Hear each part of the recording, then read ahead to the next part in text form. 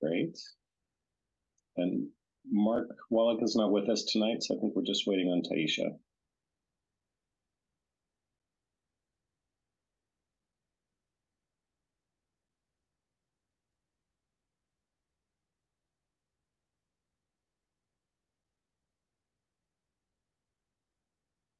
I think she was having trouble finding the link. Okay, did, should we reach out to her? Do you think she's got it now? Hmm. I think uh, we need to try to get it to her phone. To get it to her phone, so let me. Happy to send that to her. Is, is her number ending in nines? Uh, Nine, nine, nine, nine? no, Okay. So we have a call in. Just wanted to make sure.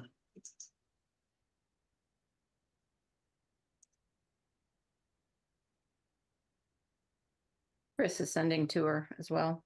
thank you.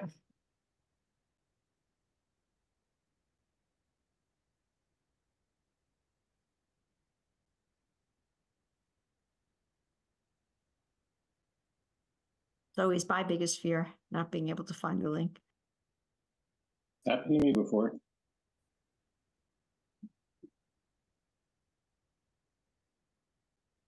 Okay, looks like she's in the lobby.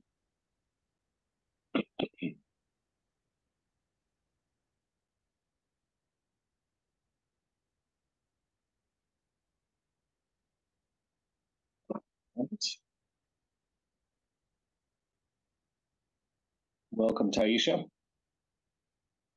Uh, can we go ahead and start recording, please?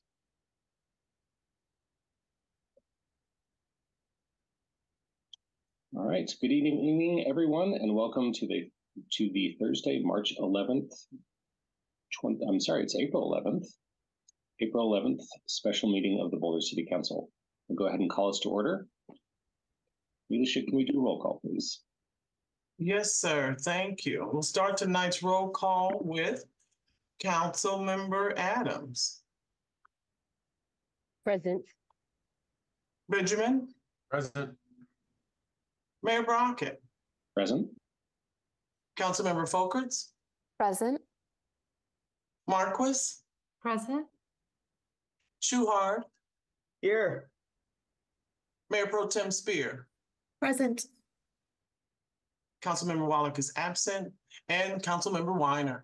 Here, Mayor, we have our quorum. Thank you, Elesha. I'd like to start off uh, asking if we could amend the agenda, please, to add an item 1B, a debrief on the power outage on April 6th and 7th. so moved. Second. Motion to second. All in favor, raise your hand. That's unanimous. The agenda is duly amended. So we can go right into item 1A, which is the Space Science Month Declaration presented by Councilmember Benjamin. Wonderful. Thanks, Aaron. Uh, really appreciate that and appreciate the opportunity to read this year's uh, Space Science Month Declaration. In December 1968, and it's kind of apropos because we just had a solar eclipse. Uh, but in December 1968, the astronauts of Apollo 8 were attempting to be the first humans to leave low Earth orbit and circle the moon, roughly a quarter of a million miles away.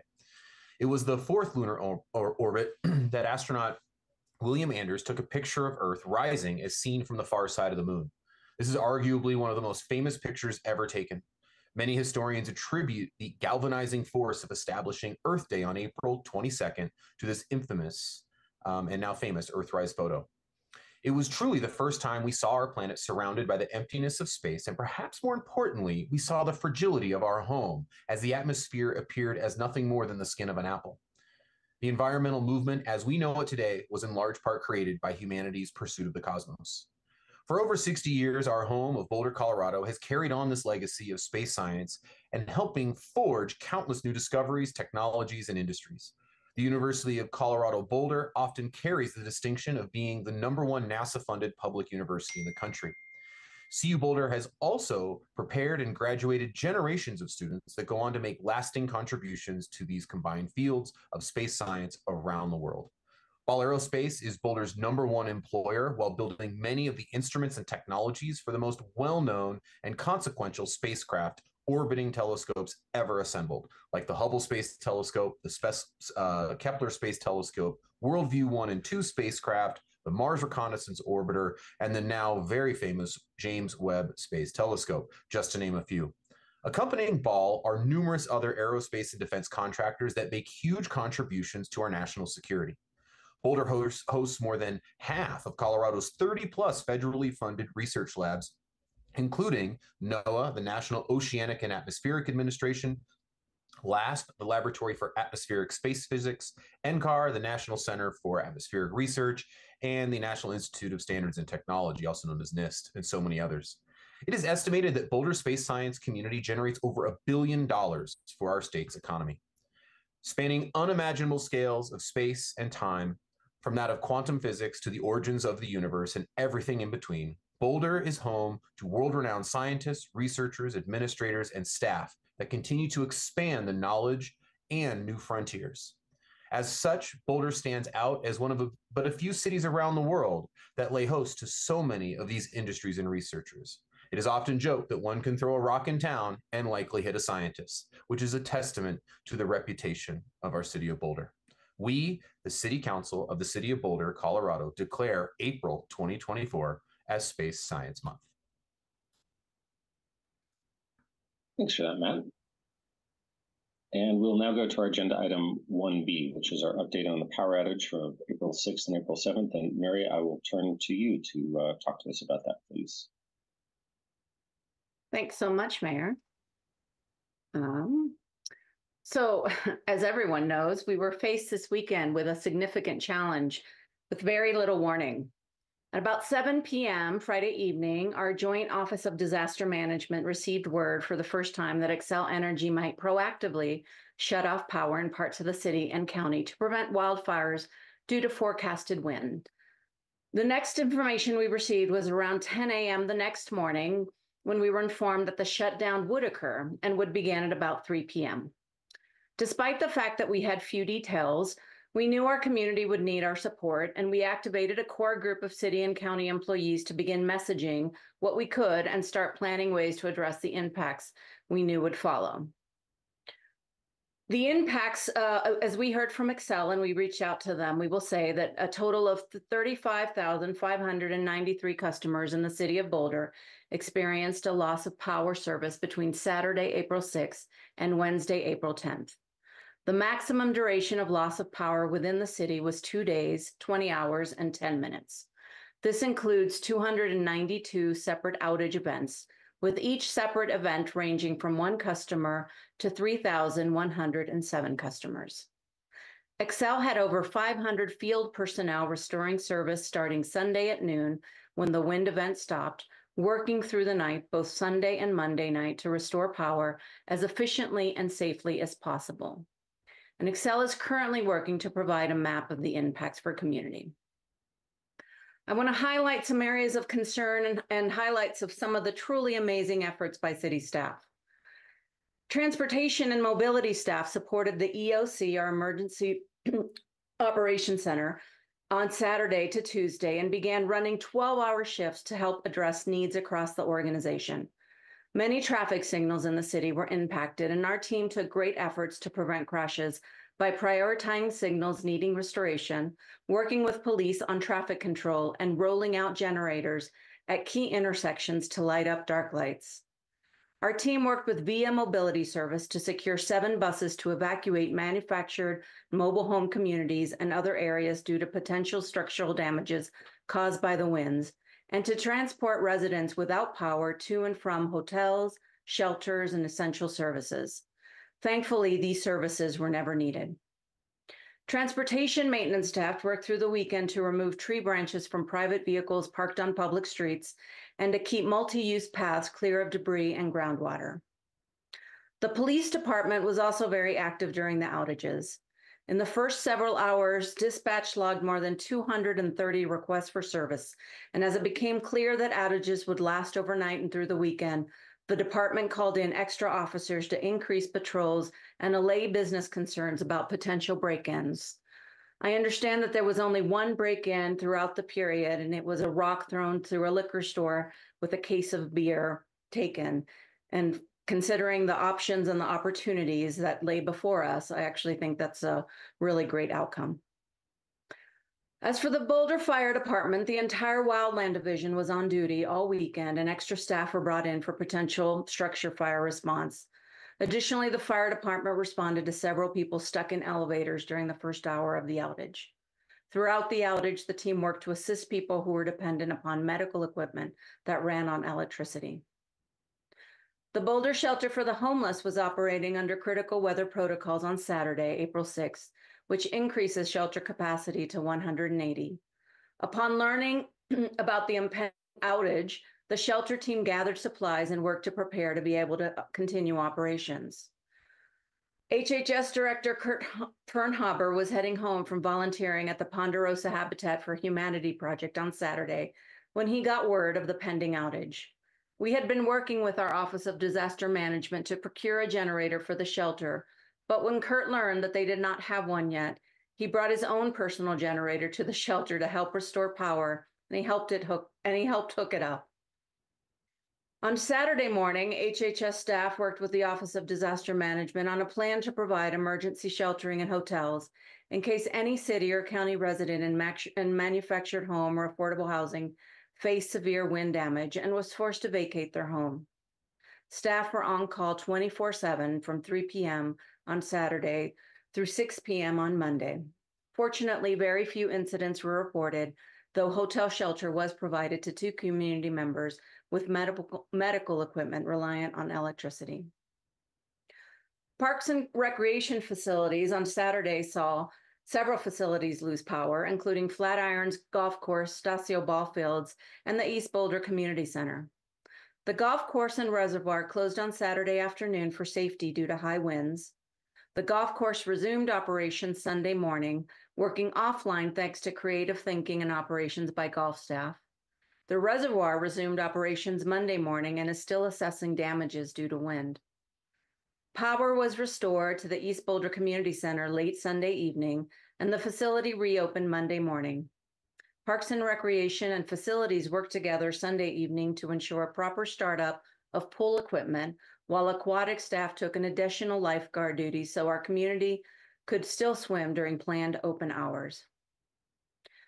Members of the city's communications and engagement department came together with county public information officers early Saturday to amplify the limited information we had from Xcel Energy and to share resources that were being established to help community.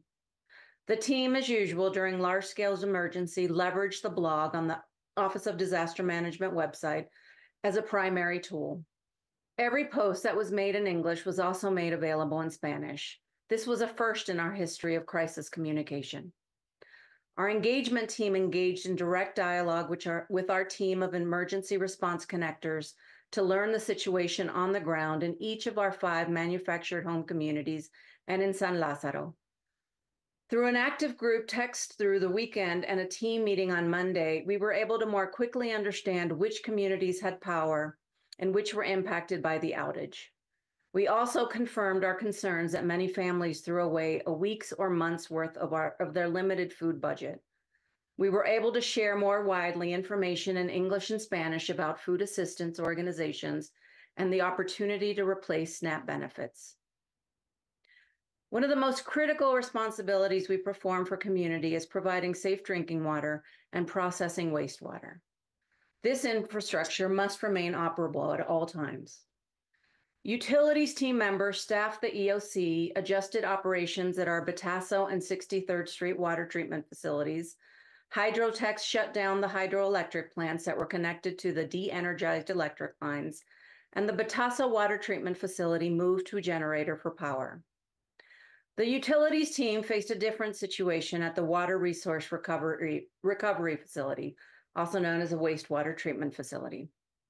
At about 3 p.m., with the preventive shutdown, utility staff alerted us to an emerging concern.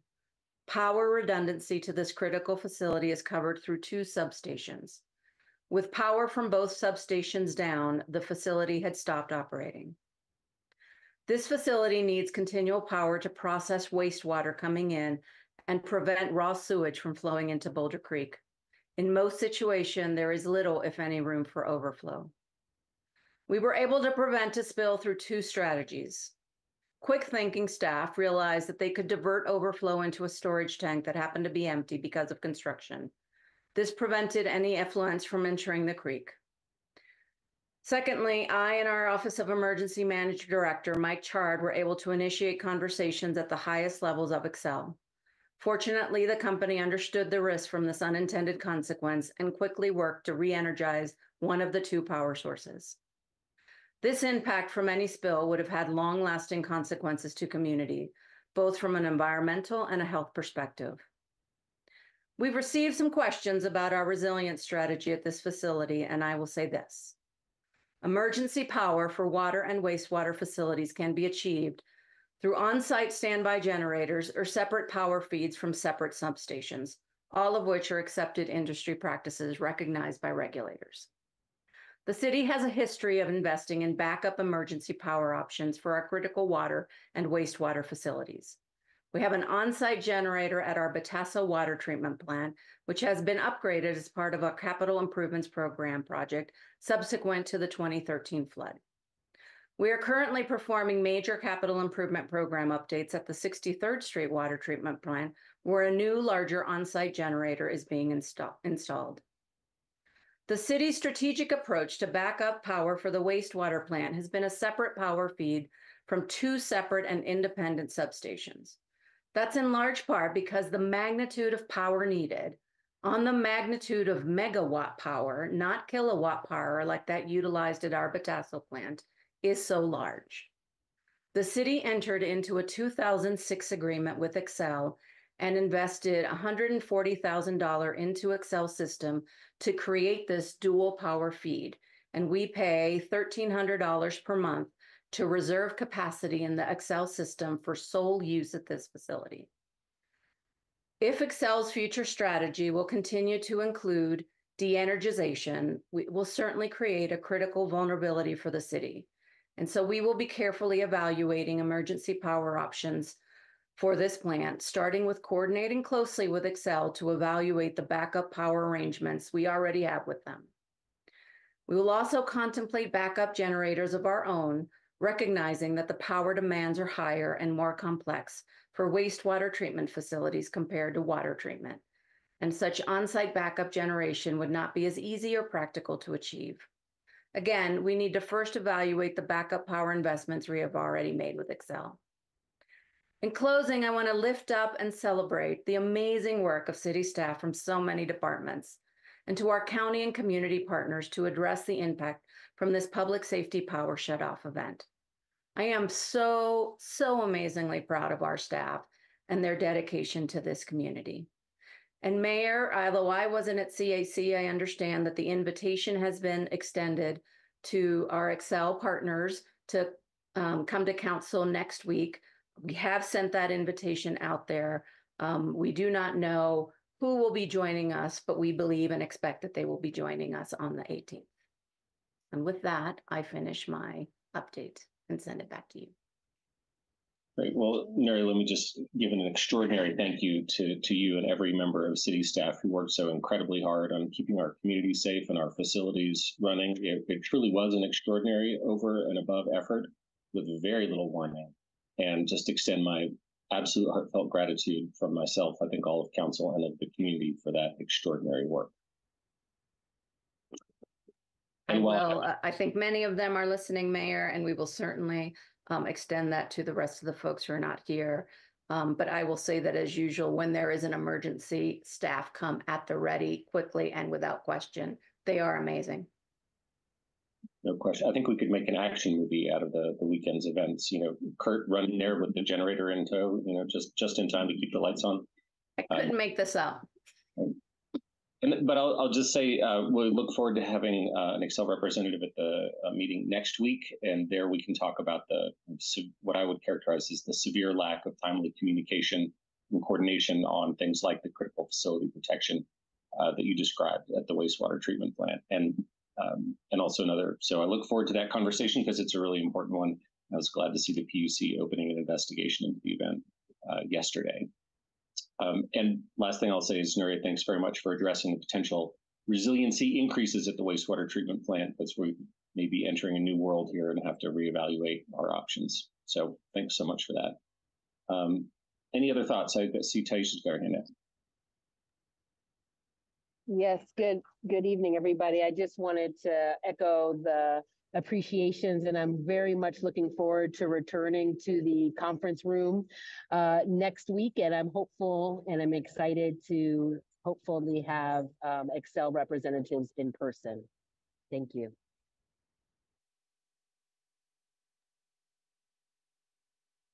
Ryan? I had some kind of longer comments, but I can read the room as you we want to get through this. So if I if you just indulge me to say uh, thank you, Nuria.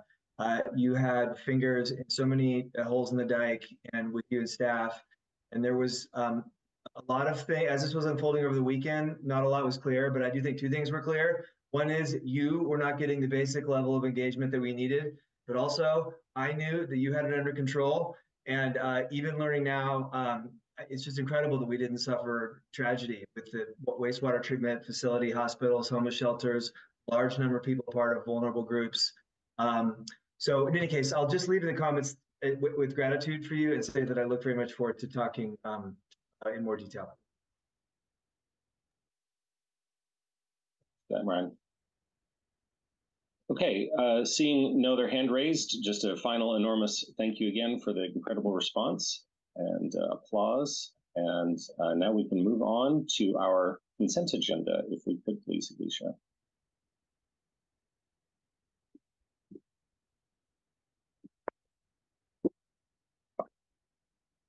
Uh, Elesha, you're muted. I've been having that day all day. Um, thank you. And good evening again, everyone. Um, our consent agenda is item number two on our agenda tonight, and it consists of items 2A through 2D. Any um, comments or questions about the uh, consent agenda? I, I have something, except Nicole, maybe you'd like to highlight um, item 1C. No pressure. Sure, I would be very happy to. It's uh, it is given how long municipal judges tend to stay, it is rare to be on the council that gets to hire a new one, and I am just so thrilled uh, that we have Judge Khan stepping into uh, this permanent uh, municipal judge role. And um, Judge Khan, thank you so much, and uh, we we are really grateful to be able to keep working with you in this role. I'm excited to see uh, what you're bringing to the community and the way that you're supporting the city as you step into uh, the not interim municipal judge role. Thanks for that, Nicole. Yes, because when we adopt the consent agenda, we will be officially hiring uh, Judge Jeff Kahn as our pres permanent presiding judge, which we're very excited about. Jeff, did you want to say a word or two?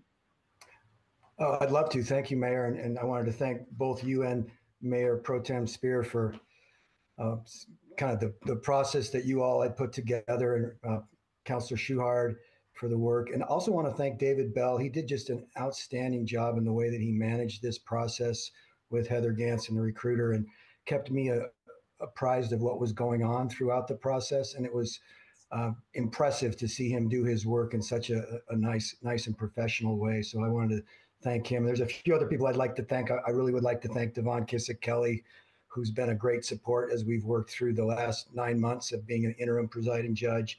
Also, would like to thank Judge Cook, who really set our course, our course for our, our court in such a great way over the last 20 years. She's been a great mentor to me and a great supporter for our court, and we are on a, a great path because of the work that she's done.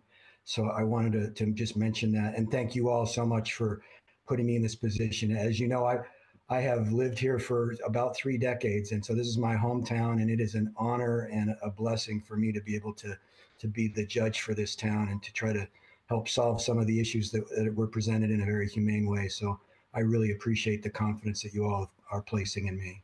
Thank you. Cool.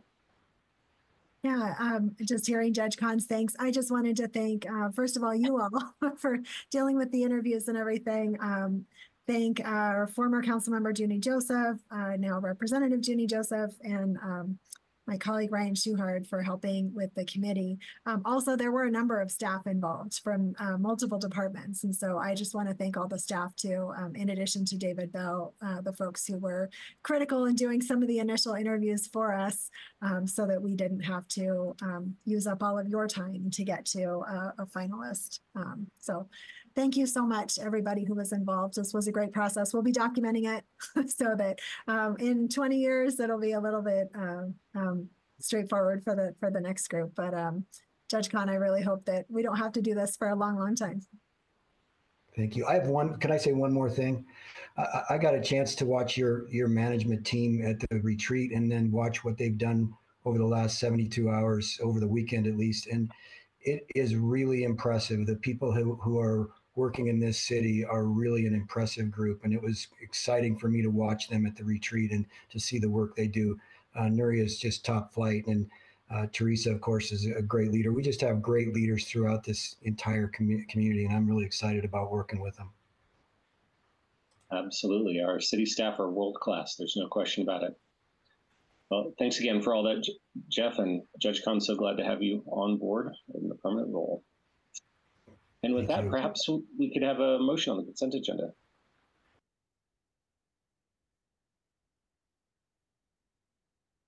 Motion to approve the consent agenda. Second, Great. We've got a motion and a second. Uh, could we have a roll call here, please, Elesha? Yes, sir. Thank you. And congratulations again to Judge Khan. We'll start the consent agenda roll call for items two A through two D with Councilmember Benjamin. Yes. Mayor Brockett, Yes.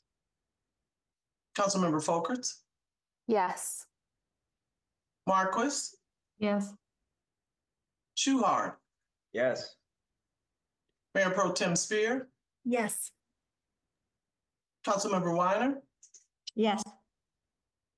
and Adams. Yes. Mayor, the consent agenda items A through D are hereby passed with a vote of eight to zero. Thank you, Elesha. So if we can go to our public hearing now, please. Yes, sir. Our public hearings are item three on tonight's agenda, and three A is the second reading and consideration of a motion to adopt ordinance eighty-six twenty-seven, designating the area as shown in Exhibit A to be known as the Civic Area Historic District as a historic district under Chapter nine eleven Historic Preservation, BRC nineteen eighty-one, and setting forth the related details. Thank you, Mayor. And I understand before we go to Marcy, we're going to go to our Director of Planning and Development Services, Brad Mueller. Good evening, Council. Thank you uh, for that introduction, Nuria, and pleasure to be with you this evening. Uh, I just wanted to uh, share with you a a little bit of the historical perspective of this application coming to you, which seems appropriate given the topic. We don't do a lot of districts uh, in the city. They're a fairly rare thing. Um, so they come up very rarely for consideration. And, and of course, there are not many of them. I think the last one, and Marcy will probably correct me in her uh, presentation, was maybe a good 15 years ago. So we, um, you know, recognize these are rare events. And, and I, I dare say no one sitting around this virtual table probably has gone through this process. Uh, we are here uh, just a year and a half, almost two years ago, uh, which ironically was just after I started. Uh, coming back to you at your request, you had been uh, looking at uh, a separate request for the band shell and the potential expansion of that.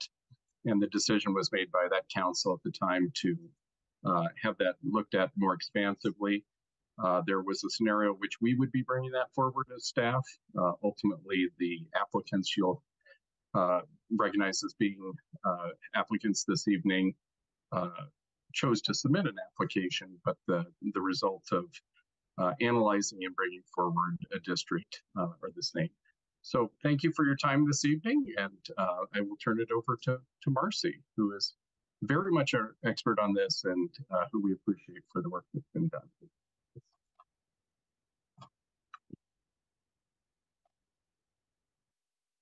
There we go. All right, thank you. and good evening, members of council. I'd like to begin with an acknowledgement that this city of Boulder is on the ancestral homelands and unceded territory of Indigenous peoples who have traversed, lived in, and stewarded lands in the Boulder Valley since time immemorial. We honor and respect those people, uh, the people of these nations and their ancestors.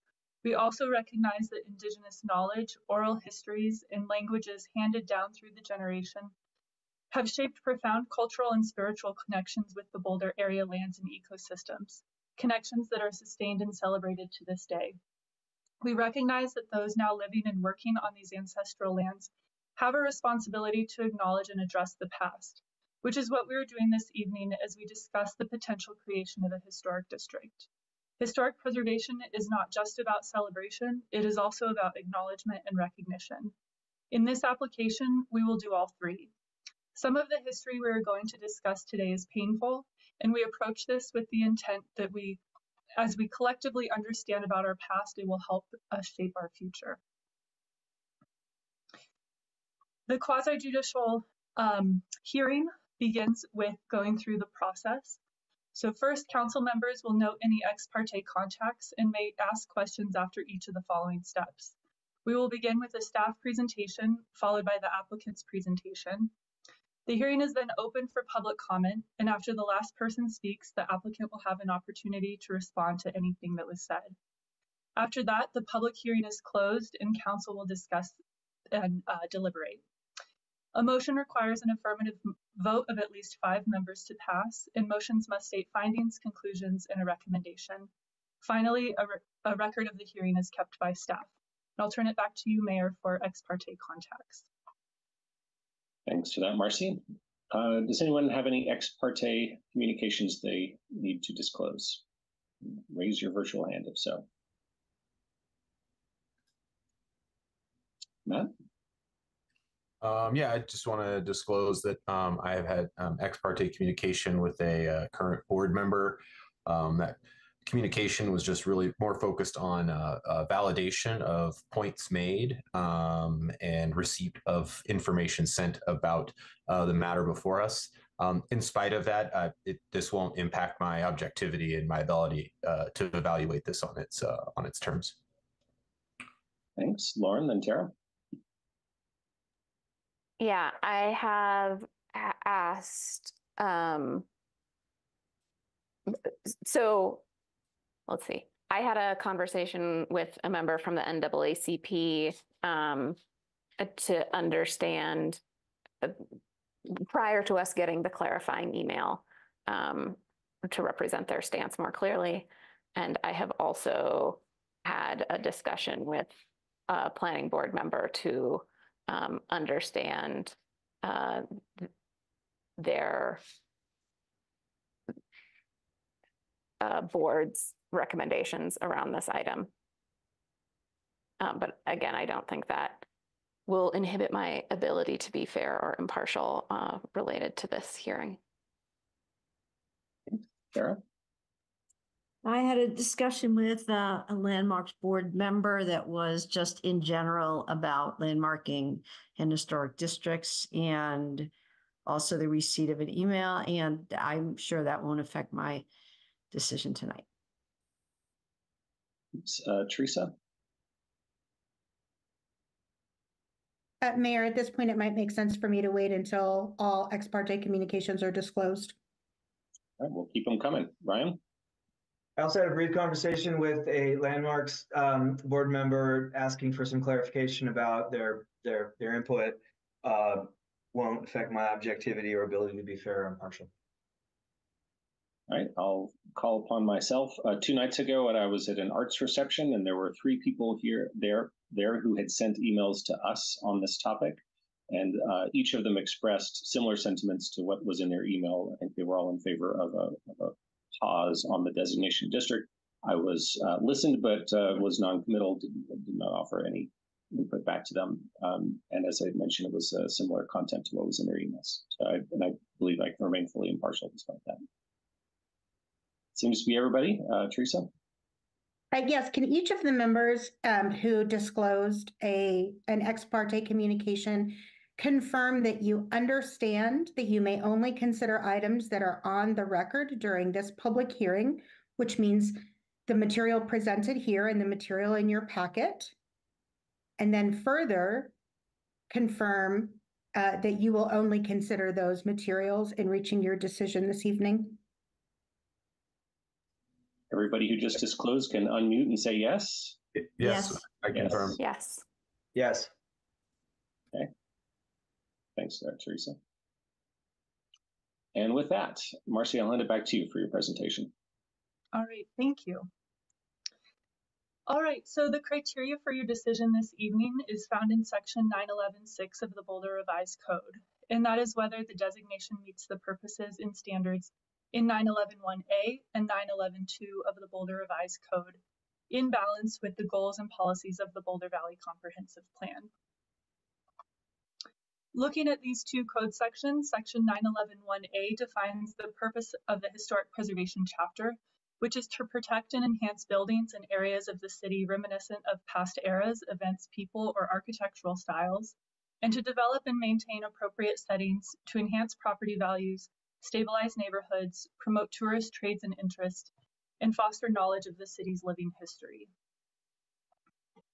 Section 911.2 provides the type of designations council may pass, including a contiguous historic district containing sites, buildings, structures, or features having a special character and uh, historic, architectural, or aesthetic interest or value and constituting a distinct section of the city. And the third portion of the criteria for your review asks whether the designation is in balance with the goals and policies of the Boulder Valley Comprehensive Plan, which sets a vision for future development and preservation in the city of Boulder and Boulder County. As the designation of a historic district is complex, the following questions may help frame your discussion. First, does the proposed designation meet the code criteria? And if so, does council have comments on the proposed ordinance language, including the boundary, district name, and character defining features, as well as alterations? And third, does council have comments on the draft design guideline framework? The options in front of you this evening are to approve the designation, modify and approve it, or deny the designation. If the application is denied, a substantially similar application could not be submitted for one year. So what does historic designation mean? At its most basic level, local designation recognizes and protects areas significant to Boulder's history and guides how an area changes over time through design review of exterior changes. One common misconception is that once designated, an area is frozen in time. However, it is often a question of how an area changes, not if it changes. While the existing historic districts are some of Boulder's most iconic places, overall, only 3% of properties in Boulder are historically designated. The benefits of designation include eligibility for tax credits, grant funding, possible code modification, staff assistance, and a bronze plaque. The responsibilities include design review for any exterior changes, and our program reviews anywhere from 150 to 200 applications a year for uh, designated buildings. In 2023, over 90% of landmark alteration certificates were approved, 5% are in review, 3% were withdrawn, and just one application de was denied. We are often able to come to a consensus, and in the rare case that the Landmarks Board denies an application, the decision is subject to, count, uh, to review by the City Council. For this specific application, the proposed historic district includes five designated landmarks, which means exterior changes are reviewed through the LAC process, and the general design guidelines help inform how sites change over time. The area is also within the non-historic and interface area of the downtown urban design guidelines, which means larger projects outside of the park and landmark boundaries are reviewed by the Design Advisory Board. If designated, historic Preservation design review would extend to Central Park and the public spaces between the landmarked buildings, and the changes would be informed by district-specific design guidelines to address the unique characteristics of the area. The Design Advisory Board would not review projects within the historic district boundary or the park, but would uh, continue to review those areas outside, such as the parking lots uh, currently in the East Bookend. Here are a couple examples of projects that require historic preservation review, like demolition and new construction. and permanent installation of interpretive signage or artwork. There are also many types of projects that do not require a review, including emergency repairs, work within the ditch easements, and the CDOT right-of-way, in temporary installations. And to just emphasize that point, if the historic district is designated, work within the ditch easements, there's two ditches within the boundary, would not require landmark alteration certificate review. The application in front of you this evening began back in 2021 when the city uh, received a request to expand the boundary of the band shell. The Landmarks Board uh, voted to initiate that process and in 2022 voted to recommend for the expansion. At that time, the City Council chose not to expand the boundary, but instead gave a nod of five for staff to explore the creation of a historic district in 2023. In January of 2023, together with the Parks and Recreation staff, we began to scope the process, including the development of the cultural landscape assessment for Central Park. An update was provided to PRAB, the Landmarks Board, and City Council in April and May. At the end of May, a historic district application was submitted by three historic preservation organizations, and in July, the Landmarks Board voted to initiate the designation process. The applicants agreed to extend the time requirements in the code in order to provide the necessary time for community engagement, coordination with departments, and completion of the cultural landscape assessment. We undertook that work along with the development of a draft design guideline framework through the end of 2023 and began this year with the board and council review phase. Knowing this would be a complex application, we identified the following objectives to guide our work. First was to ensure we follow the code requirements. We also recognize the opportunity and the responsibility to tell a more complete history of the area and gather community input. Next, and unique to this application, was the coordination across nine departments, three ditch companies, three applicant groups, and CDOT. All of this contributes to our main objective, which is to provide City Council with the material needed to make an informed decision. Our colleagues in communications and engagement have been a critical part of the project team and helped define the level of our efforts to be a consult level for the general public as we asked and considered their feedback on whether they support the designation, a consult level with the community connectors and residents as we saw advice on racial equity strategies, and an involved level for key stakeholders, including the department representatives and applicants as they helped in the development of the design guideline framework. And while the application came from three historic preservation organizations, it is staff's responsibility to conduct, conduct the public engagement required in the code. Even with an extension, this meant a compressed timeline, and we knew we had to be intentional with the time and resources we had. I'd like to acknowledge that this application is the first historic preservation project to use the racial equity instrument to help advance racial equity through this process. It informed the engagement and helped identify the opportunity to correct harmful narratives and tell a more inclusive history. Staff also found that the evidence found evidence that harmful narratives were used to justify the displacement of residents, and this finding is acknowledged in the history presented as part of this process. Our engagement objectives included sharing information about the area's history and proposal, gathering feedback broadly and from historically excluded communities, and collaborating collaboratively developing the design guideline framework. I appreciate the coordination across the many departments and agencies and would like to thank the community connectors and residents who provided feedback on the racial equity strategies. Those conversations influenced our team to lean into the research and be very intentional with our language and how we tell the history of a place. The connectors agreed to participate in a dry run of the walking tour and their perspectives will continue to influence our approach to the work we do in the future. Walking tours occurred in October, and the applicants agreed a free, created a free self-guided tour through the PocketSights app.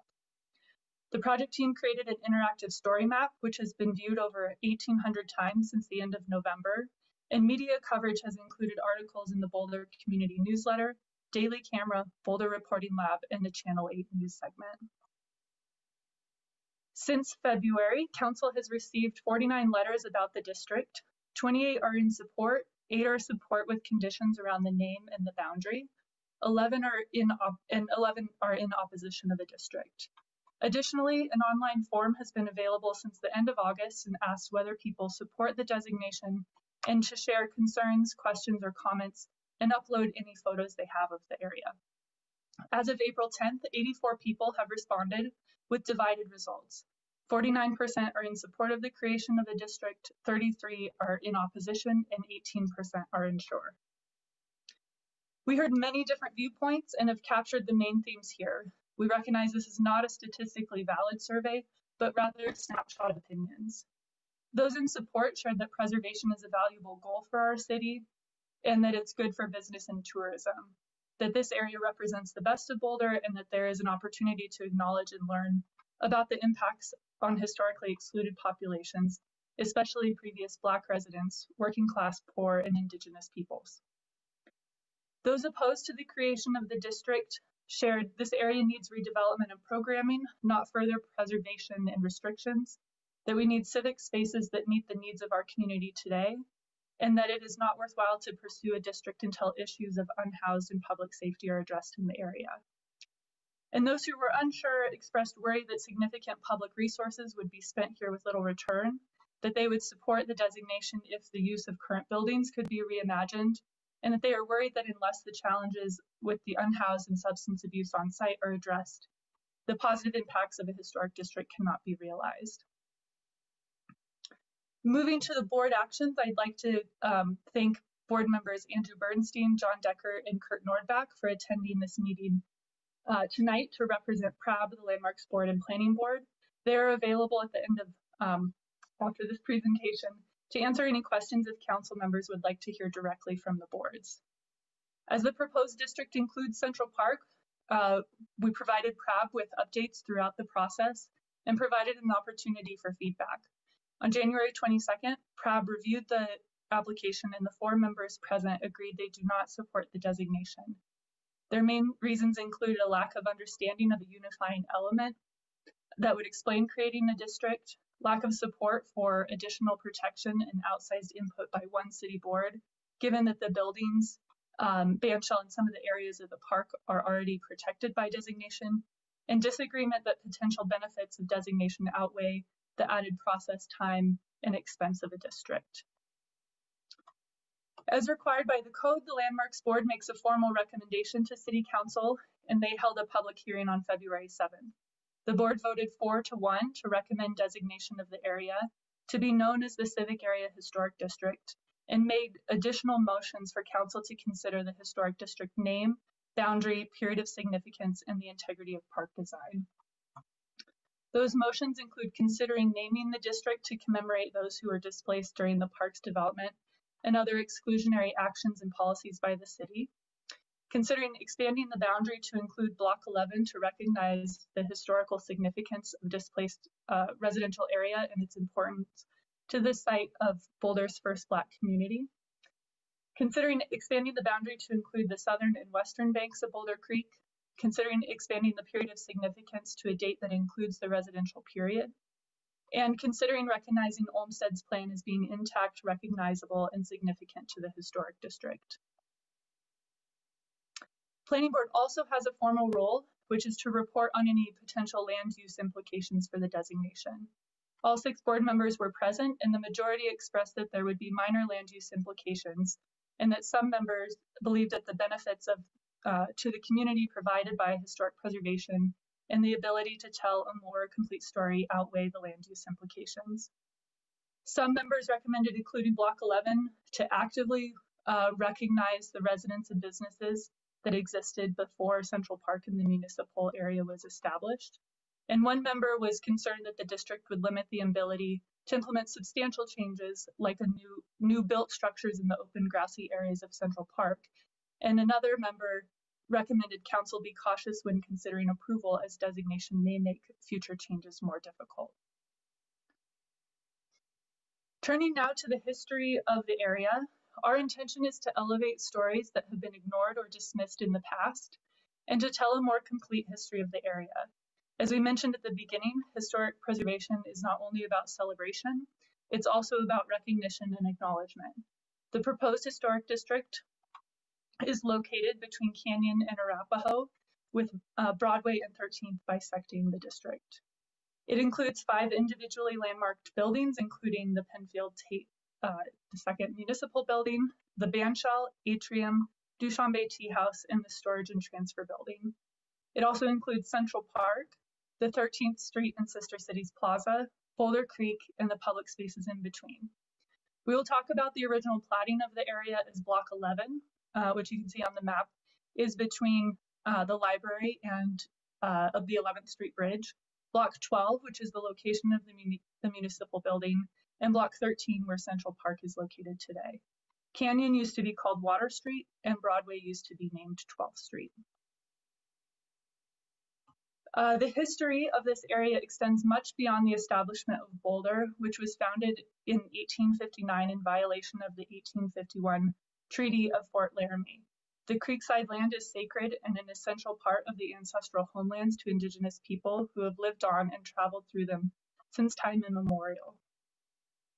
Boulder has an archival silence or gap in its historical record for the Indigenous perspective of history. We acknowledge that a majority of archival materials focus on the perspective of white and European settlers of the Boulder Valley. The city has recently embarked on an ethnographic study in collaboration with tribal nations to better document the history of Indigenous people in the area. Until that is complete, we will begin this timeline with what we know, which starts in the 1870s. The first snapshot of this area comes from the 1890 Sanborn Fire Insurance map, Broadway was a main thoroughfare, and the railroad ran along Water Street. We know that the houses were constructed here as early as the 1870s, and both Black and white working class families lived here. It is notable that many of the residents were owned by single or divorced women, which was uncommon at the time. We also know now the name of Molly Gordon, who is one of the first Black women to own property in Boulder. She lived in the area from at least 1884 until her death in 1904 and owned her property outright starting in 1890. In 1894, Boulder experienced a catastrophic flood. Looking at the census records, we can see that many people, including Molly Gordon, chose to stay and rebuild in the neighborhood, demonstrating great resilience, which was again tested a few years later by another flood in 1897. A greenhouse and a house in the future location of Central Park survived the floods. By 1900, more houses were constructed along Water Street. Another long-term resident was Jenny Johnson, who lived in the area starting around 1900. As a Black woman, she had few employment opportunities. She worked washing laundry, but also started a cleaning business from her home, which she advertised in the newspaper. In 1906, the year of the storage and transfer building was constructed, about 20 families lived in the area. A gasworks was constructed where the tea house is now located, and commercial buildings were located along Broadway. By 1908, the Colorado and Southern Railroad had constructed six rail lines along Water Street. The railroad purchased the entirety of Block 12 in 1910, displaced the residents, and constructed a substation. Mrs. Johnson was one of the displaced owners. She moved one block west and was one of the 17 Black residents, residences residents documented in the 1910 federal census. At this time, all but one resident in this neighborhood was Black. Between 1918 and 1922, 10 out of 13 homes in the neighborhood were uh, bought through tax deed, a mechanism where property could be bought for a small portion of its value because owners were delinquent on the property taxes. By 1922, just nine residents remained at two properties. Jenny Johnson at 1034 Walnut Street, and George Huff and his family at 1042 Water Street. Jenny Johnson continued to own her property until the city forced her to sell in 1928. The residential buildings and outbuildings were all demolished by 1928. The image shown in the lower left was taken in 1919 for the city manager at the time. It's an image of the rear of 1042 Water Street, including the outbuildings residents George Huff, Emma Burge, and John and Emma Bay, and four of their children are pictured. This image was used in newspaper articles from 1921 until 1928, alongside language that dehumanized the residents and justified the need for their displacement. This misleading picture has been the most frequently used images when talking about the residents displaced to create Central Park and has been part of the prevailing narrative for the last hundred years. And through this work, we are working to change that. Land acquisition and development of Central Park and Boulder's Municipal Center was guided by the Boulder City Improvement Association, BCIA, a community group whose stated purpose was the improvement of Boulder in health, growth, cleanliness, prosperity, and attractiveness. The BCIA, um, excuse me. Uh, the BCIA received advice from Frederick Law Olmsted Jr., in particular on flood control measures in the area, but also on plantings and general design. The design for the parkland of Long Boulder Creek was refined in plans developed by the Olmsted Brothers firm between 1917 and 1923 and published in 1923 in the Improvement of Boulder Creek in Boulder, Colorado. A number of failed attempts at municipal funding resulted in reducing the scope of the improvements. BCIA volunteers attempted to complete the work Olmsted suggested, including planting trees on, and perimeter vegetation and grading paths through, throughout the park. A second phase of municipal area and park planning began in 1938, influenced by Saco DeBoer. DeBoer suggested Central Park as the location for the bandshell, which was constructed in 1938. Central Park became a focal point for social activities, typically based around music, education, or religion. The adjacent streets remain largely commercial and industrial.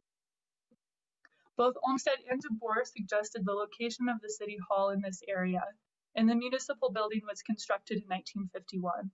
During the 50s and 60s, formal events were organized by Boulder clubs like the Elks, Women's Club, and Boulder uh, American Legion, and included memorials to uh, pioneers and sing-alongs. From 1961, the area became the center of municipal government with the construction of the public library near 9th Street, the expansion of the uh, municipal building, and a mall designed to connect them. The addition of the police substation to the municipal building and subsequent construction of the Midland Federal Savings and Loan Bank branch in 1969 created a geographic location for the establishment. Counterculture activist, uh, advocates saw the municipal area as a place of confrontation and the municipal area became the site of political protests and civil discourse. The connection between the public spaces and surrounding buildings continued into the 1970s with the adaptive reuse of the city storage and transfer building into a public arts center. The area continues its public function as the site of the farmers market, festivals, concerts, and other planned community activities, and spontaneous gatherings in response to local, state, and national events throughout the year. Overall, the history of this area is layered and complex, and it tells a unique story of Boulder's history, both positive and negative. Next, we will move on to what is the meat of your decision tonight, which is this uh, analysis of the criteria for your review. As a reminder, the criteria is found in the Boulder Revised Code, which asks you also to consider the balance with the Boulder Valley Comprehensive Plan goals and policies. In 1975, the Landmarks Board adopted the local significance criteria for district landmarks, which is intended to help uh, determine whether an area is eligible. And then for the two aspects that is that are not in our, no, you guys. our guidance. now I oh, we look. I knew you guys. Sorry, Joanna, will you mute your computer? There we go. Uh, for the two aspects that are not in our uh, code or administrative regulations, we look to the National Park Service for guidance, and that will be the assessment of the integrity and the boundary. So looking at section 911.1, uh, the historic district designation of this area, uh, staff finds would protect an area that is historically, architecturally, and environmentally significant to Boulder's history, the proposed district includes an area with a history that precedes the founding of Boulder, has documented residential and commercial uses from the 1870s until the 1920s, includes Central Park, an urban park formally established in 1924, and includes five surrounding municipal buildings constructed between 1906 and 1998 that represent a progression of architectural styles. Designation would stabilize the neighborhood as Physical changes are reviewed to ensure their compatibility with the area's historic character, and designation would foster knowledge of the city's living history through research and sharing stories of Boulder's history through virtual and in-person activities. There are a number of Boulder Valley Comprehensive Plan policies that are relevant to this application. I'll highlight just a few. Um, there are more in the memo.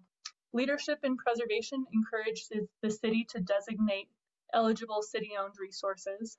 The role of the central area identifies this area as the primary activity center of the Boulder Valley. Sensitive infill and redevelopment is relevant because the area is anticipated to redevelopment to redevelop in the future. And this policy identifies the need for that infill development to be sensitive to its surrounding context and for the city to consider using tools such as design guidelines. And the role of arts, culture, historic and parks and recreation amenities specifically reference the value of historic features and park amenities to the city's tourism, economic vitality, and community livability. On balance, staff considers the proposed historic district to be consistent with these additional policies and supports the community's vision as devi uh, defined in the Boulder Valley Comprehensive Plan. Moving on to the significance criteria beginning with historic significance, the area meets the criteria for historic significance for the public function of the area as a symbolic, political, and municipal center of Boulder's local government, and as the site of numerous social, cultural, and political events, and for its significance as the in the history of Boulder's park system development and its contribution to the social and cultural life of the city for over a century. The use of the park reflects the community over time. Following its con the construction of the bandshell in 1938, Central Park became a focal point for social activities, typically based around musical, educational, or religious events. During the 1950s and early 1960s, the events became more nostalgic, with memorials to pioneers, Huck Finn Day, and sing-alongs. In the 1960s and 70s, the area was the site of rallies, protests, and experimental theater. And under recognition of authorities, um, many of the existing landmarks are also eligible for listing on the state and national register. The area meets the criteria for architectural significance as it includes multiple significant works by notable architects, landscape designers, builders, and urban planners, including James Hunter, Glen Huntington, and Hobart Wagner, Frederick Law Olmsted Jr., and Saco DeBoer. Is a, it has a unique architectural identity representing a progression of styles that provides an eclectic municipal character unique to Boulder's history, location, and climate. And third, the area meets the criteria for environmental significance for its planned and natural site characteristics, including the spatial relationship of the civic buildings and Central Park, Boulder Creek and the Boulder Slough, circulation paths with the park creating a relatively flat central green area, mature trees, including two state champion trees, uh, planted in groves and lining the perimeter of the park and the views towards the Flatirons. The area is an established, familiar, and prominent visual feature of the community due to its location near prominent thoroughfares. Next, we move to assessing the area's historic integrity, which is the area's ability to convey its historic significance. This piece is not written in our code, but as a certified local government, we look to the National Park Service for guidance. Our approach um, to the integrity analysis included researching the history of the area, reviewing the findings of the uh, cultural landscape assessment, multiple site visits and comparison of historic and current aerials, plans, and photographs, use of the National Park Service uh, guidance, and then consultation with state and national register historians at History Colorado. Uh, and that was for guidance both on the integrity and determining the boundary. So uh, PNDS staff agree with the cultural landscape assessment findings that the 1923 to 1937 period of the park design does not retain integrity. Uh, and I can go into um, more detail if needed. Um, the design of the park was substantially changed by the introduction of the bandshell in 1938 and its seating in 1950, which interrupted the distinctive circulation pattern of diagonal walks that form a central green. Little remains in terms of the material and workmanship of this period, and the Art Deco bandshell has significantly altered the feeling of Central Park. It is, it is a prominent visual um, feature visible both within the park and from the surrounding area. Overall, the park today does not retain the physical features to convey the integrity of association with that early park designed by the Olmsted Brothers firm.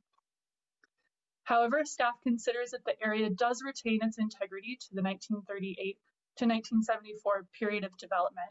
And to highlight a few key points, its setting of an urban park surrounded by the unique municipal buildings retains its historic character. Located on the prominent intersections of Broadway, Canyon, 13th, and Arapahoe, the area is centrally located and is a familiar visual feature of the community. The district's uh, workmanship is evident in the integration of the art and architecture of the Dushanbe Tea House, the high quality of masonry in the construction of the atrium and the municipal building, and the construction of the bandshell and its seating. Overall, the district retains integrity to convey its association with the design of the park during the 1937 to 1974 period and the numerous social, cultural, and political activities that occurred within the park and the surrounding public spaces. Staff considers that the changes to the park and public spaces, including the introduction of and improvements to the Boulder Creek path and the realignment of paths within Central Park, do not detract from the overall setting and feeling associated with the district's historic significance. Similar to integrity, we look to the National Park Service for guidance in determining boundaries.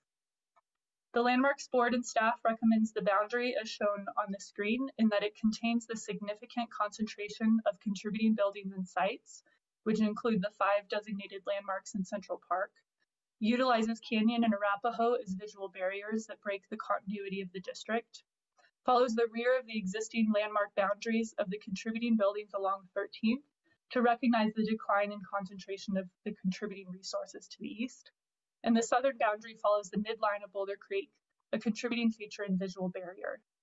The original application proposed including the parking lots along 14th Street. Those are not included in the recommended boundary.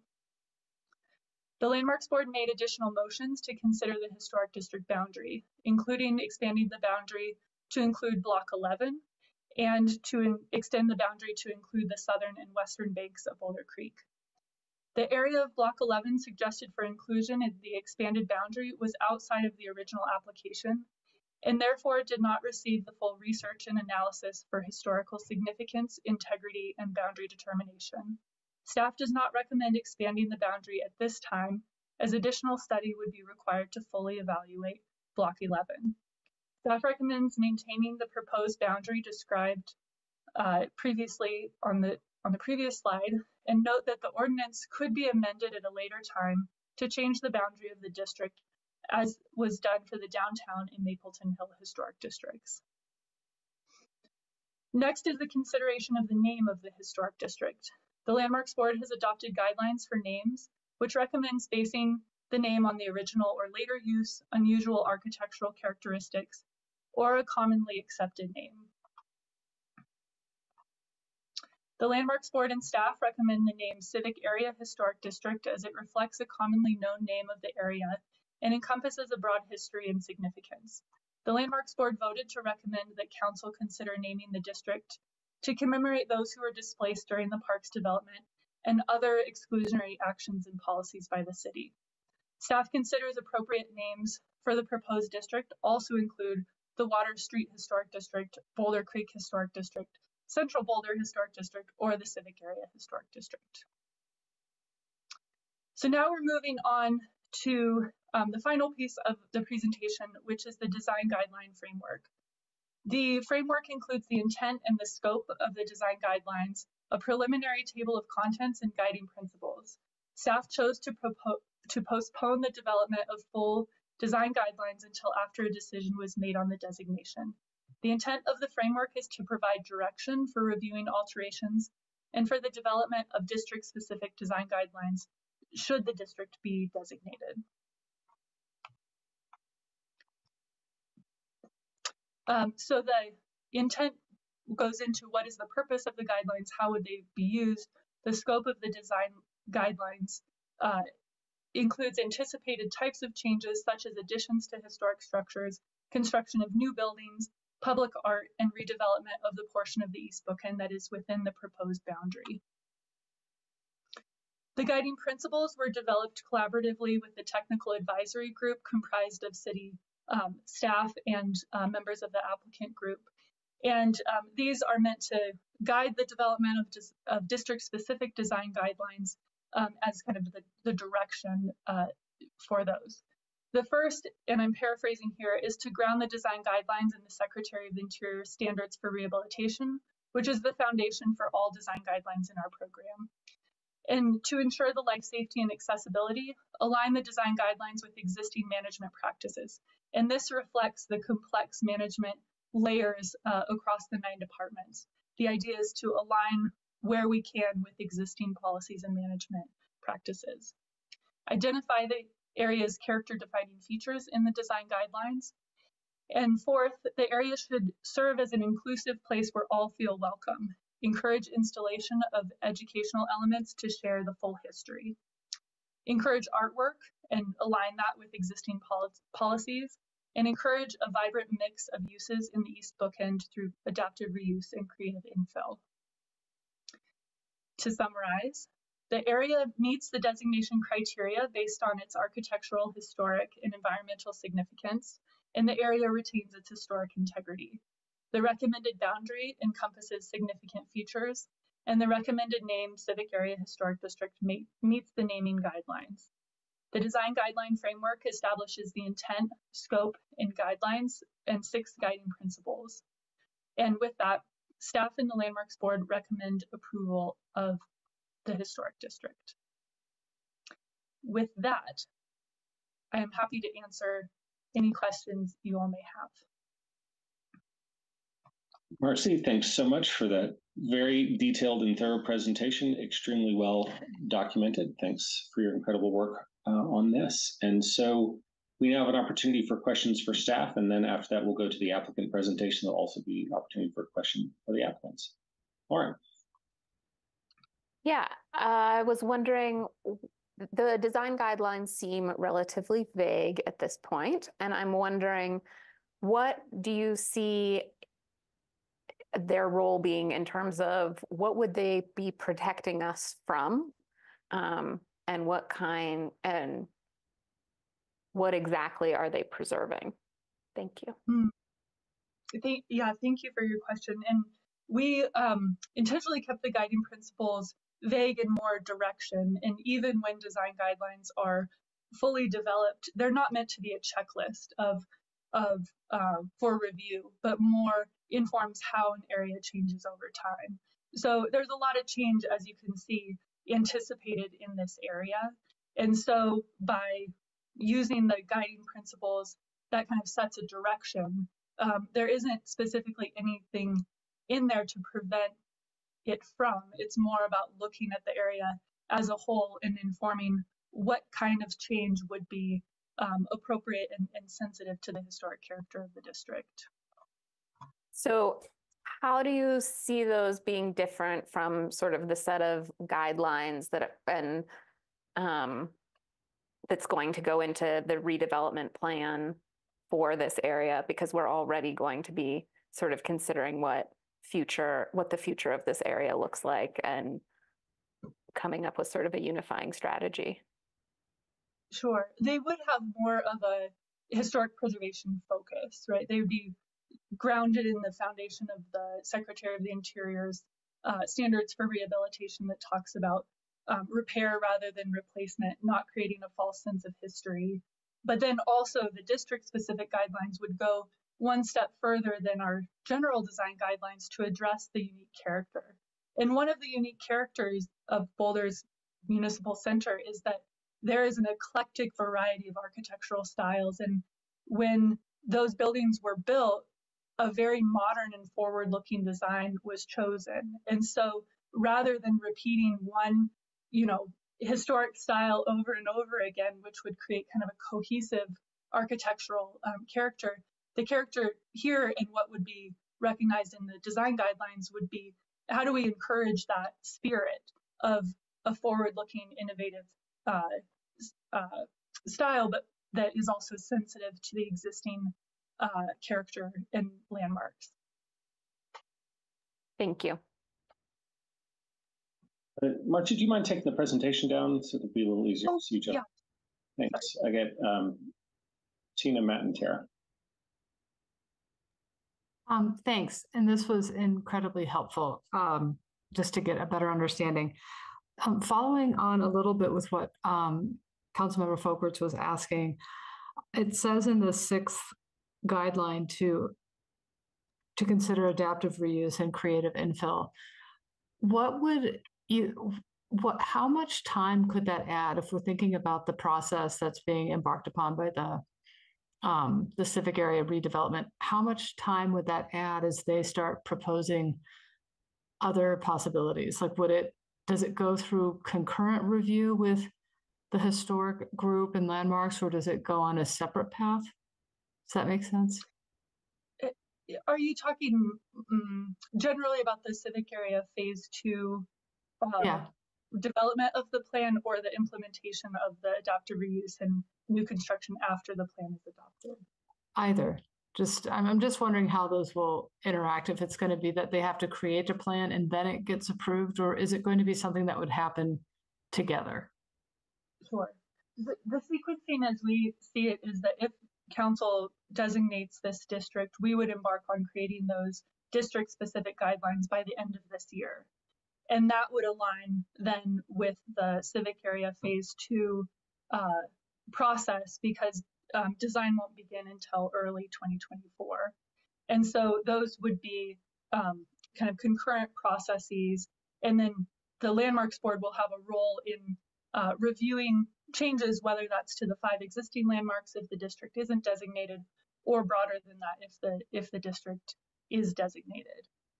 And then looking farther ahead for uh, adaptive reuse or infill projects that would likely be um, reviewed by the landmarks board, which usually is a two to four month process with the opportunity to call up that decision by city council.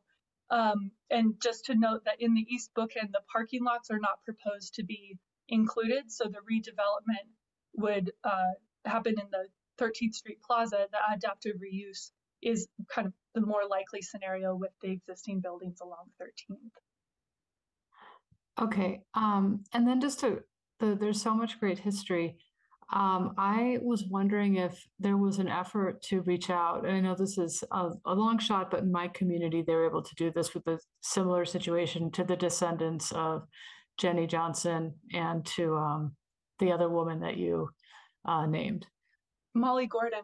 I yeah. would love that to be an outcome of this effort. Um, we were not able to do that in the time that, that we've had, but that would be um, that would be incredible if that uh, were a result of this process.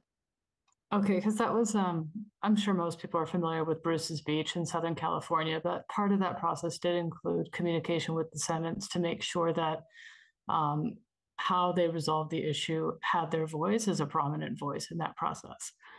Um, so that's the other thing. Um, and then if this were to be designated a historic district, 13th Street is used for a lot of different things. Would there be any short-term impacts to how 13th Street could be used? Use, no.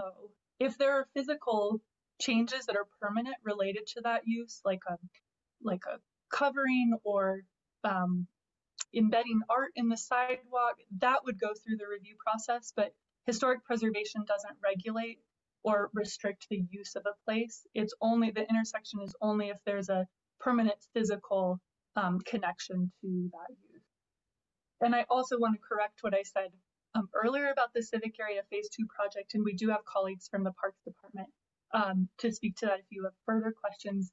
Um, but the design for the civic area phase two will begin in early 2025. Uh, through 2024 is the engagement. Okay, thank you. Matt Montero. Thanks, Aaron. And I appreciate the questions from uh, Lauren and, and Tina um, on that.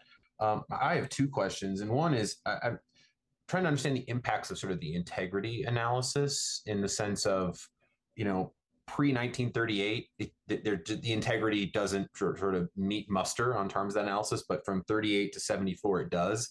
And I'm wondering that by picking that timestamp, does that impact one what we're preserving in time and or um, who or what we are honoring um, that may came before that? Because I'm wondering, like, do we are we locking ourselves into time here in what we're going to focus on on landmarking and historically preserving? Um, because I'm thinking of, you know, many of the historical injustices came way before 1938, and I'm worried if we're focused on that chunk of time, are we not in a position or or or lessening how we can honor and recognize and bake that into to the area just because it predates that sort of integrity analysis? That's a great question. And the period of significance does have um, its purpose is really in the design guidelines and reviewing changes. Was this building or this um, change here within the period of significance, or is it non-historic outside of the period of significance? That's usually changes made in the last 50 years. Um, I do want to clarify that in our memo, the correct period of significance for the overall district is 1906, which is the date of the storage and transfer building, to 1974, a date 50 years in the past. The integrity analysis for the park uh, cuts it off at the 1938 date. Um, so I think also I heard in your question is, are we still able to um, share this history and recognize it as significant if it's outside of the period of significance? I think we can do that. I think the period of significance um, comes most into play in reviewing changes over time and saying, was this here? Was it present during the period of significance, or, or is it a later change that's not historic?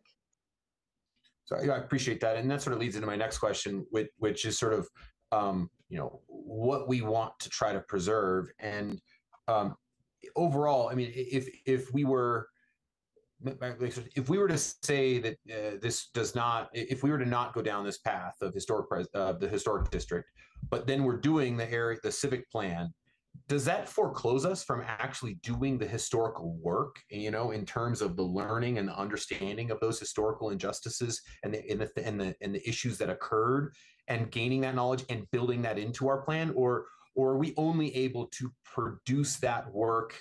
and honor that the right way only through going through a historical district process.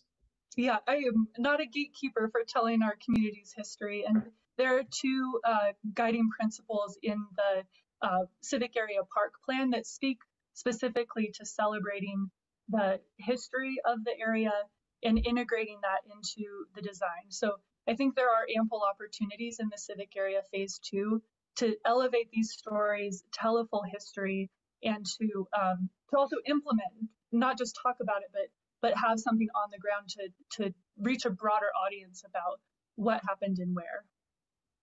I appreciate that answer. Thank you. Thanks, Marcy. Sure. Uh, okay, so my first question is, is I noticed we just brought forth our priorities, and one of mine, which was happily accepted, was the connections. And I know one of the things that I've been thinking about is lighting. Um, and so one, I noticed that lighting was something that the landmarks board is going to now be, uh, would you say in charge of deciding or how does lighting affect things in terms of the landmarks board and our redesign of that area? Mm-hmm. So the landmarks board would be one layer of review. City council would be the ultimate decision maker if they denied the proposal or if they approved it, you could still call that up. Um, lighting was a big component at Chautauqua, which is a National Historic Landmark. A couple of years ago, because there was a cultural uh, cultural resilience and safety tax uh, measure that was passed that funded the lighting up at Chautauqua, and then we were reactive to say, well, there's never been lighting up here. What's an appropriate way? So in that case, we formed a, a working group. We developed design guidelines. It they, it goes into the character of um, the kind of camp-like character of Chautauqua and those lights, those 13 poles that are that are now there are very sensitive in in terms of this um, historic uh, place. By including them in the district specific guidelines on the front end, we would have a more proactive approach to thinking about, well, what kind of lighting is appropriate here in the civic area. Okay, so my next question is, this is what I also asked for at the retreat, it's a big decision. So tell me, what are the negatives? What are the cons? You gave a great presentation about a lot of the pros, but putting on your con hat, what would you say, especially in light of the fact that we have um, a lot coming up for that area in terms of design in the next few years? Sure.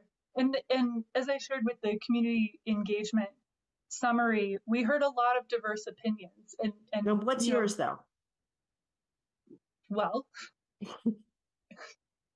um, that is Or do you not want, you don't have to answer that if you don't want to. No, I, I mean, I, I think generally, generally in the field of historic preservation, um, the uh, perspective is that historic designation would stifle change or stifle creativity. My personal opinion is that more creative outcomes can come when you look at what's already here and wonderful, what do we want to carry forward, um, and what do we want to leave behind.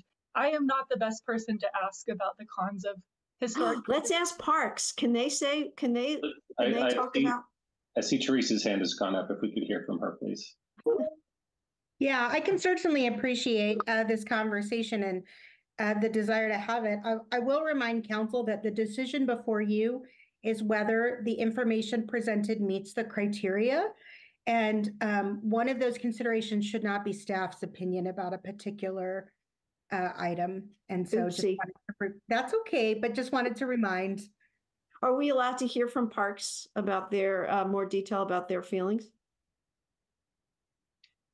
I will offer that the three uh, representatives of the board that um, made an official recommendation, including PRAB, Landmarks Board, and Planning Board, are here this evening if you'd like to hear directly about their deliberations.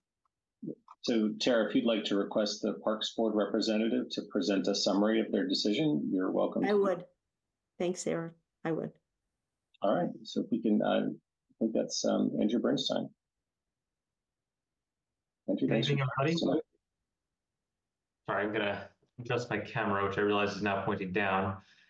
Um, it's nice to be here with all, with all of you. Um, uh, the Parks Advisory Board spoke about this issue back in January. Um, we are, we're of course appreciative of the, of the work that's gone into evaluating this issue and has gone into, um, presenting the information to, to our board and the other boards involved and the city council. Um, it was our strong opinion, it was, it was unanimous among the members of our board who were present at the meeting where this was discussed, that the park, that the, landmark district should not be expanded. Um, it's our opinion that, um, the individual structures are already landmarked and that, of, of course, is a correct decision that we agree with. We didn't see anything in the the park itself that was that was so important it needed additional protection beyond what's already there. Um, and most importantly, we we are um, very interested in the future of this park and very interested in working with the Parks Department staff to see how it can be improved and redeveloped and better utilized uh, as part of the next phase of, our redevelopment of this of this district. Um, and we don't want the creation of a historic district to in any way delay or complicate the um, the important work of improving this park. Very much for representing the board and offering that perspective, Andrew. Appreciate that. I will note as well, you have upstaged uh, Councilmember Schuhard with your multiple bikes in the background versus his just the one. So nice to done. Glad to glad to be of service. Good. I think right now we've got uh, Taishya and Ryan queued up.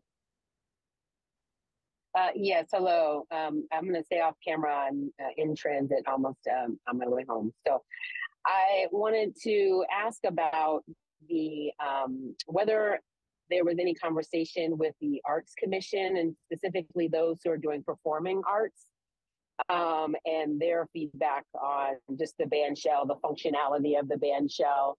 Um, I would say that's, you know, one of the concerns that I have is um, just the functionality and integrity of that band shell to, to do the things that it needs to do. So I was just curious if um, there was any comments or um, discussion by the Arts Commission and particularly and specifically those who are in the performing arts. Thank you. Uh, we did hear from members of the arts community, especially in the last two or three weeks or so. And um, uh, but we didn't have specific conversations with those groups as part of this process. The uh, Huntington, the Glen Huntington bandshell is already an individual landmark, so there's no difference in terms of the design review um, that would be, required uh, if the district is designated. And um, you know, historic buildings, historic places do need to be relevant uh, in order to be preserved. So again, it's how does it change, not if it changes, um, that our design review for the bandshell already exists through that designation. Thank you. Um, and also just point of clarification, we do not have the full history or more history beyond 1890 of our indigenous Right, the history of the indigenous uh, peoples we do not have at this point, but the city is working on an ethnographic uh, study in consultation with the tribal nations. And so we look forward to looking, learning more about that history in the future. But right now, we um, unfortunately don't know that history. Okay, I just wanted to confirm that. I did see it in the slide. I just wanted to make sure that I, I before I designate something historical, I wanted to just make sure whose history are we, um, whose history are we um, uh, preserving? And again, as African American, it's wonderful to see um, the efforts around Water Street.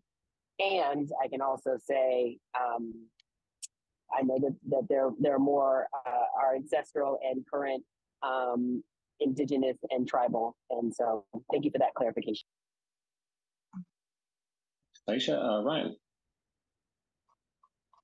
Marcy, thank you for such a great presentation and for being such a good shepherd um, of the of our our history uh, insofar as the history that we that we have. Um, I just have one question, uh, sort of maybe a dummy question as a non-specialist um, about the method of of, of looking at the, the historical excuse me historical integrity, um, and just when I when I take it all in uh, and I look at the map looking down, and I think of this as a landscape. It is so chopped up by pavement um, and cars with significant more vehicle traffic and noise than I, um, I'm sure was present in the, the various periods we've talked about. Um, Broadway, one of the biggest arterials in town, is is blazing through it. There's 13th Street. The perimeter, there's Canyon, one of our other bigger arterials um, right where traffic is accumulating and then zooming to get out of town. Um, this is does this doesn't seem consistent to me with with thinking about what was what was going on in the, the periods of history we've talked about. And I'm just wondering from a, a practitioner perspective, do you um, it, is it not is there a point at which there's you do look at that and you say you know there's a there's a area ratio that that does become a factor or do you just not ignore do we just ignore it or is it uh, just subjective. Maybe we don't, we just don't see it because everybody's used to it. How, how, do you think about that? This is so chopped up and fragmented by um, by cars and pavement. Yeah, um, well, I would say that it's curious that our municipal center has always been bisected by a major thoroughfare between the, the municipal building across from a park. And some of the early designs had a monument on access in Central Park from the municipal building, but it still crossed Broadway, which was one of the main thoroughfares. And then along Water Street, there were four rail lines going through. So we think of Canyon as being loud now. It was loud 100 years ago as well, or even in the 1960s when those, those rail lines were taken out. And so we do look at the general pattern of what's the urban street grid? Has that changed over time? And um, a lot of that still uh, still exists today, though the modes of transportation have changed. The general layout of the historic district, as you look at the, the aerials, um, much of that re- remains intact. Okay, thank you for that. Just a quick follow up then, for as I think about about the the criteria. Then, so I hear you that the the you, yes, this is this is a consideration from a like kind of a grid standpoint. It it there is some integrity. Would it also be um, could, could somebody else evaluate it and say, well, that's different. Like it's different now. There's the the the type of traffic, the um, the impact on the humans moving around are different. Would that be a fair um, evaluation for somebody who needs to look at this and make a decision? Like, could you come to that conclusion, you know, at, and with, be within like the, a professional kind of a standard? Yeah, and um, these are good questions. I, I think that you think about transportation in any of the districts in um, in Boulder, you had the streetcar line going up 9th Street to Chautauqua. A lot of transportation was horse and buggy, and then early automobile, et cetera. So, from a um, history of like infrastructure, it's changed across the entire city in terms of um, street paving. A lot of the streets weren't weren't paved until the 1950s and 1960s. So, a historic district doesn't have to be a step back in time with dirt streets and boardwalks and things like that.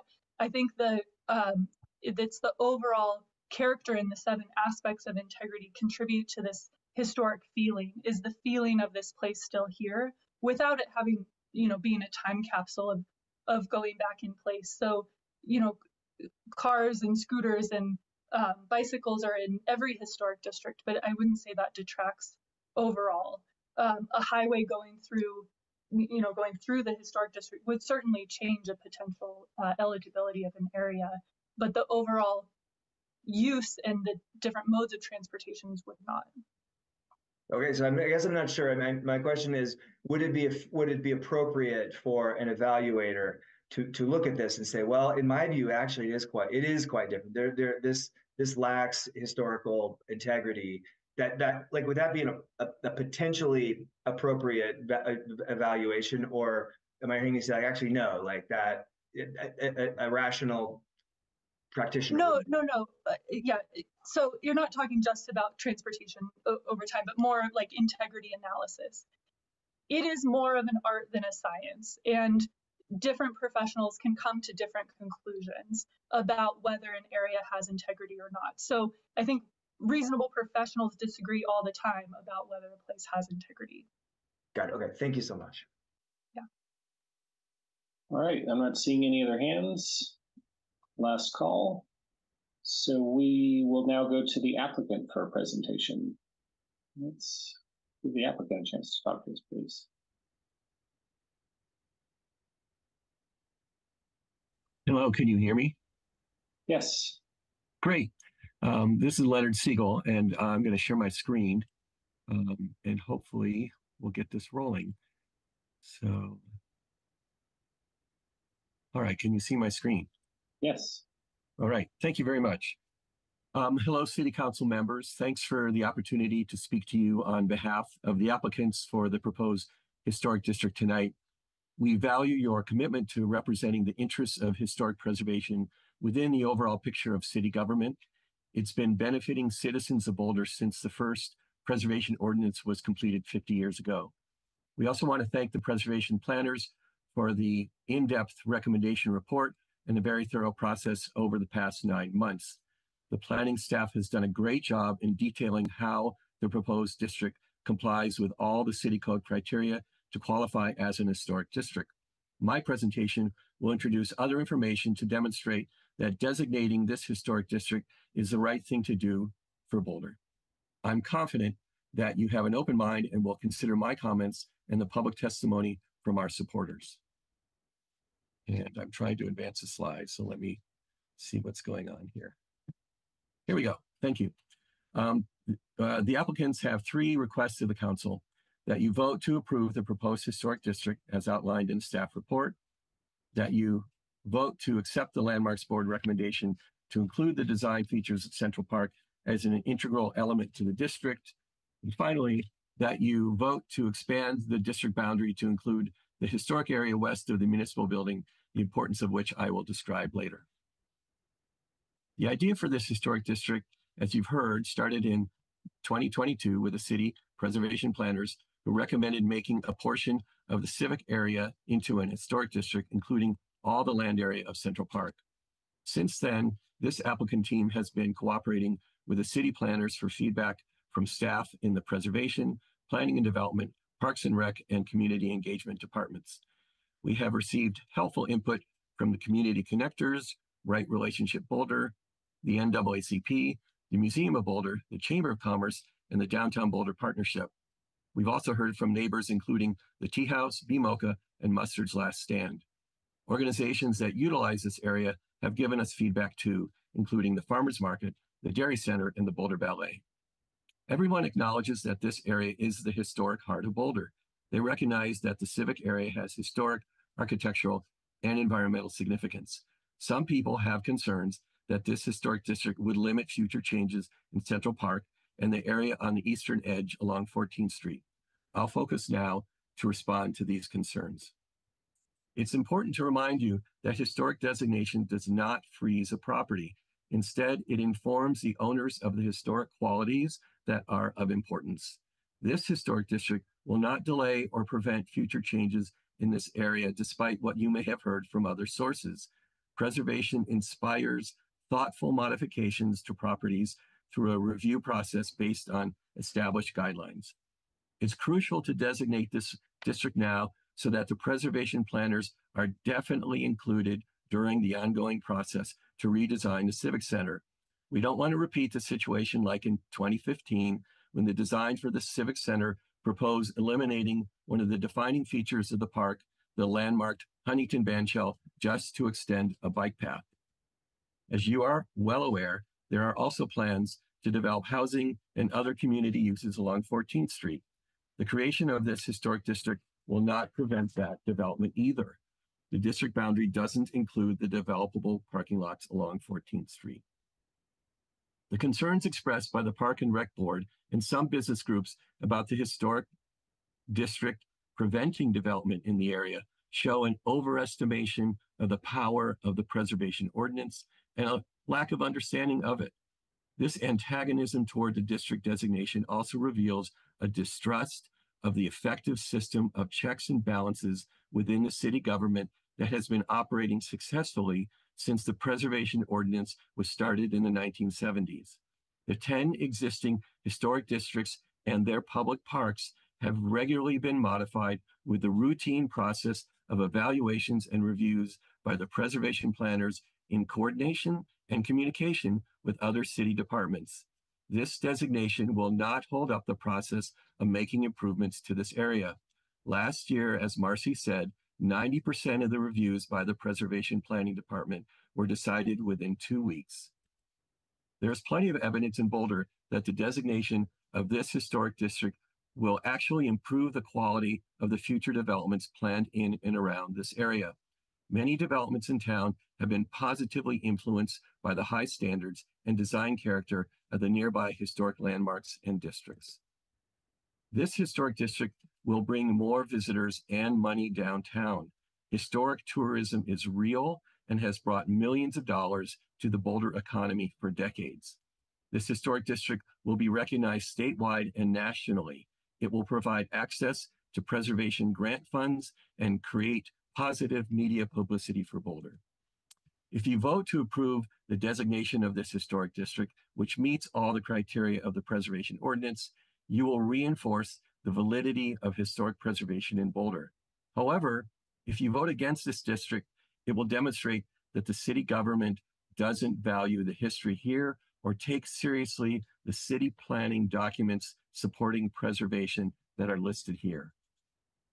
I want to reinforce a couple of the additional recommendations to you by the Landmarks Board about the scope of the proposed historic district. First, we want you to recognize that the historic design of Central Park still has integrity and should be considered when new plans are proposed to modify the park. The Parks and Rec Department self-authored a cultural landscape assessment report of Central Park, which demeans the integrity of the park and the validity of the proposed district. In this way, they can justify making whatever changes they want to the park, regardless of historic significance. However, several national authorities have verified the integrity of the original design concepts, including the Olmsted Network and the Cultural Landscape Foundation. In these next few slides, I'll show you those existing original design features comparing the park in 1938 with today. The Olmsted design concepts are very much with us now, with a buffer of trees along 13th Street and Canyon Streets, just as originally laid out. The original open lawn areas that are very versatile in use are still in place. there are fewer trees by design on the west side of the park to frame views to the Flatirons. Finally, in the original plan, there is a civic structure north of the irrigation ditch, which was later built as the shell. My point is that the landscape of Central Park has as much historic design character as the architecture of the tea house. When changes are proposed, they should take into consideration how they will impact the historic design features of the park. This sort of review is what this district will enable. We also support the Landmarks Board's unanimous vote to propose the expansion of the historic district to include property to the west of the municipal building in the area known as Block 11. Research by the preservation planners has already identified that this area was one of the very first places where Black people were allowed to settle in Boulder. Many of them were displaced to make way for the new Civic Center. The proposed district is unique and significant with rich stories of habitation going back thousands of years. There is evidence that indigenous people, most likely the Arapaho, lived along Boulder Creek. By the early 1900s, many of the residents in Block 11 were working class women. Some even owned their homes, as Marcy pointed out. The historic district will showcase these underrepresented histories, especially if you vote to expand the proposed boundary to include the Block 11 area of their former homes. Boulder, Colorado prides itself on being inclusive. However, 100 years ago, the Civic Center area, not just Central Park, was created by displacing the mostly minority residents here. The creation of this district will bring to light the stories of discrimination at the time of the founding of the Civic Center. If you are truly championing diversity, equity, and inclusion, then you should vote in favor of this district, which embodies the complex story of the formation of Boulder, including racism. Some people are asking why create an historic district when most of the properties are already landmarked. Aristotle gave the answer 2,400 years ago. He said the whole is more than the sum of the parts. This district designation would officially tie together and honor many of the significant stories of the evolution of Boulder all in one location. Our applicant team asks that you take advantage of this rare opportunity to create a legacy for the citizens of Boulder by voting to designate this area as an historic district tonight. You can help to change the general perception of this area from one that is shunned to one that is treasured. I'll be happy to answer any questions you have now or during your deliberations. Thank you very much. Thank you for that, Leonard. Council, any questions for the applicant?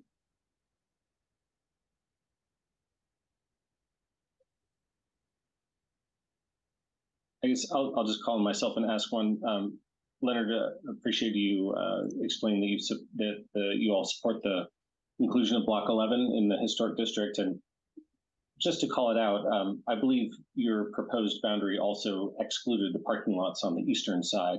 And those were originally in the proposed boundaries, but do you all also support the removal of those parking lots from the boundary? Yes, we absolutely support that uh, exclusion of those parking lots. And um, we've um, talked with um, staff and um, business leaders about that and have agreed to that wholeheartedly. Great, thanks for that. Uh, Ryan. I do. Thank you, Leonard. Thanks very much for this and to your um, whole team and and um, folks working on this. I um, have I've heard a lot of of uh, really good ideas about advancing um, historical preservation in general in the space, and I'm just wondering if you could um, uh, think give an answer to. It, let's say it's not. We don't go ahead with this what what stands in the way of, of you know nevertheless um, as we redevelop the, the the, the space in this area um, to provide things to memorialize our rich diverse and troubled history in the past and to you know continue to do that as we redevelop the um, the area i guess sort of a big question maybe maybe there's like some think pros and cons or i don't know I'd be curious to hear what you think about that um, well the pros are that it um, it unburdens the Parks Department from being able to do uh, with a free hand what um, they desire to do. So for them, that is a pro.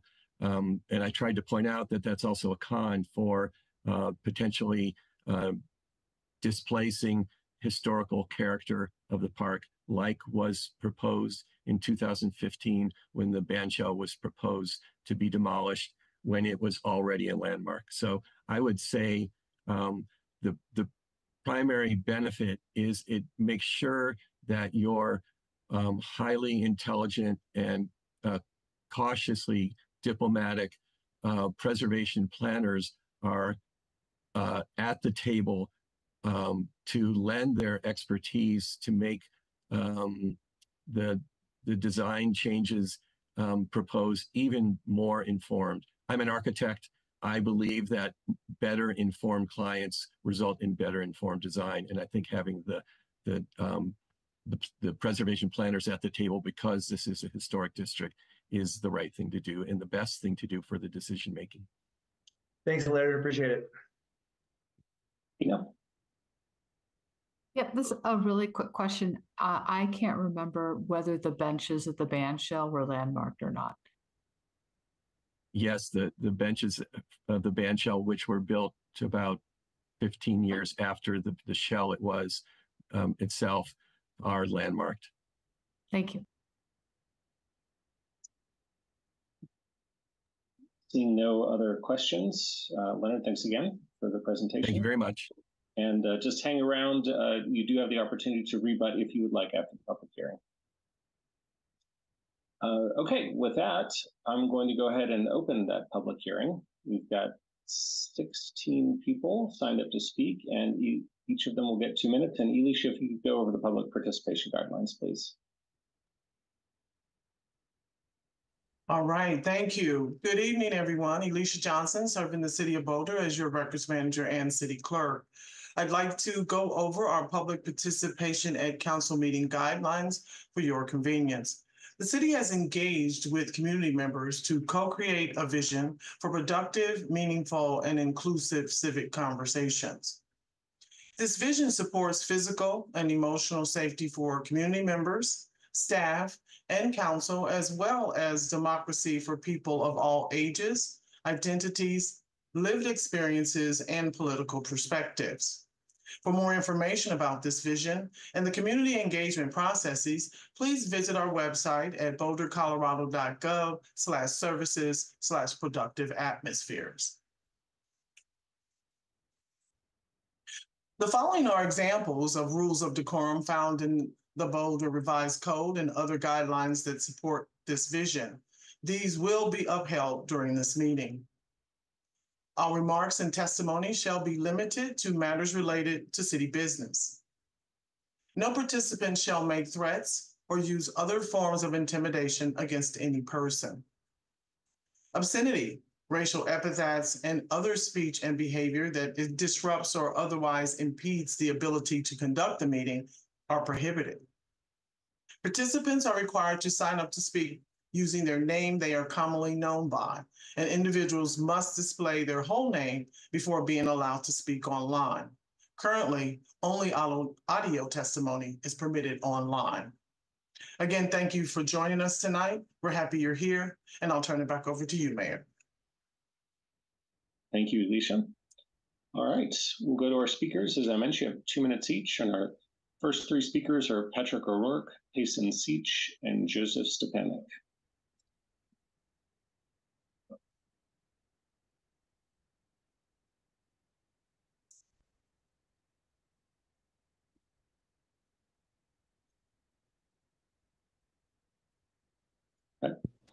There you go. Uh, good evening. Thank you, Marcy, Claire, and Aubrey, and the Boulder Landmarks Board for a comprehensive analysis of this district. I also want to thank the city staff for the yes recommendation in your packet, and finally uh, to Len Siegel for presenting a compelling story. This week, I've been in five different renowned communities in the United States. All five of them have historic districts and rely on historic tourism to survive. Santa Fe, what an amazing art scene. But it also has the challenges similar to Boulder. It has challenges of a displaced population of both the Hispanic and Native nations. What a great opportunity for a sister city. Uh, Bandelier, the Pueblo Nation. You can literally walk through history And yes, you don't change it and you don't talk about putting monuments up there, you preserve it. Los Alamos represents our nuclear age. And I'm calling you from Woodstock, Illinois. You might know it as the movie where Bill Murray did the Groundhog Day. I own the Woodstock Stock Exchange, and I believe that I'm walking the walk in historic preservation. But finally, the most important community is my historic, beloved Boulder, where last week I took my brother's family to Chautauqua to go sledding, the tea house for lunch, and we spent the afternoon visiting the local stores on Pearl, specifically the local ones, Peppercorn and Liberty Puzzles. And of course, I went to coffee at, at Trident. Historic districts are good for business, education, our community. Boulder Civ- Civic Historic District is the glue that combines all five historic buildings and the park into one cohesive, understandable story. The creek identifies our native nations. The ditch represents the agricultural community. Block 11 with the history of our displaced Black community, community, which should not be erased from history. Each of these different buildings tell a story of our collective history. Thank you. That's right. Now we have Payson Seach, Joseph Stepanek, and Catherine Barth.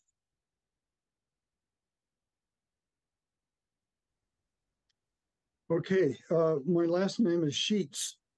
Uh, I was surprised to learn that people claimed our Central Park had significantly changed from Olmsted 100 years ago. I have two data-based experiences for you to show their claim is untrue. First, my grandparents moved from Durango to Boulder in 1920. We have five generations, grandparents, parents, us, children, and grandchildren, who have regularly used the park for picnics and events. Had any major changes occurred, we would have known about it and raised one hell of a fuss. Our family knows the integrity of the park has continued to today, and you have the opportunity to historically designate it to continue this hallowed tradition for generations of Boulderites who have not even been born yet. Second, I professionally document landscape uh, persistence and change in the United States and Latin America. I distinguish human caused changes from inadvertent ones, those caused by natural forcing, and interpret the interactions among them. It is easy to determine if major changes have occurred over the century by detailed comparison of Olmsted's park with actual conditions today. I took his map to the park, examined it closely, and found that the majority of the park area is reassuringly intact. Historical designation does not obviate minor changes and adjustments. It does protect against major and dramatic changes that threaten its integrity. You have the opportunity tonight to do that designation to keep it in the center of our functioning community. And I personally want to be available to any of you to walk the park with Olmsted's maps and let's take a close look. Let's test it. Let's not just assert. Let's use the data, walk it, see it, appreciate it, and decide the right thing. Thank you.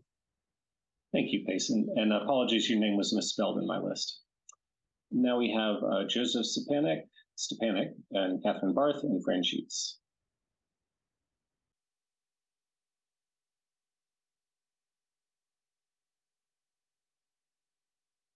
Good evening. I'm very pleased to have this opportunity to meet you all online and to speak. I am Joe Stepanek, and my wife is Carolyn Holmes Stepanek. We live at 720 11th Street in a home that is twice landmarked. It's a historic family home. We have a, a long-time connection to the Central Park neighborhood, and we strongly support the proposed historic district in this civic central area. My involvement in the neighborhood centers on the sister cities and the establishment of the Tea House. They are a tangible manifestation of Boulder's commitment to peaceful relations in our community and beyond. I believe the proposed new historic district would expand on this work to create bridges of understanding among diverse populations. The buildings and park areas illustrate an almost continuous timeline of the history of Boulder. The district would educate about the stories of disenfranchised people in this area, including indigenous people, Black Americans, and impoverished citizens. The writings on the wall of our Tate Municipal Building says it well, promoting peace through mutual respect, understanding, and cooperation, one individual, one community at a time. Two of the buildings in the proposed historic district manifest this promise of peace. The municipal building with its sister cities Plaza and the Dushanbe Tea House from a former Soviet country, Tajikistan. These structures contribute to our history, to peace, and support the arts for tourism and for business. There are linkages with the other properties in the proposed historic dis- district would create an even more powerful message of hope and peace. Boulder is very fortunate that the city has been a good steward of the properties in this neighborhood. Creating a historic district there would reinforce the city's commitment to peace, diversity. Joseph, your time is up, but thank you very much for your testimony. All right, now we have Catherine Barth, Fran Sheets, and Kristen Lewis.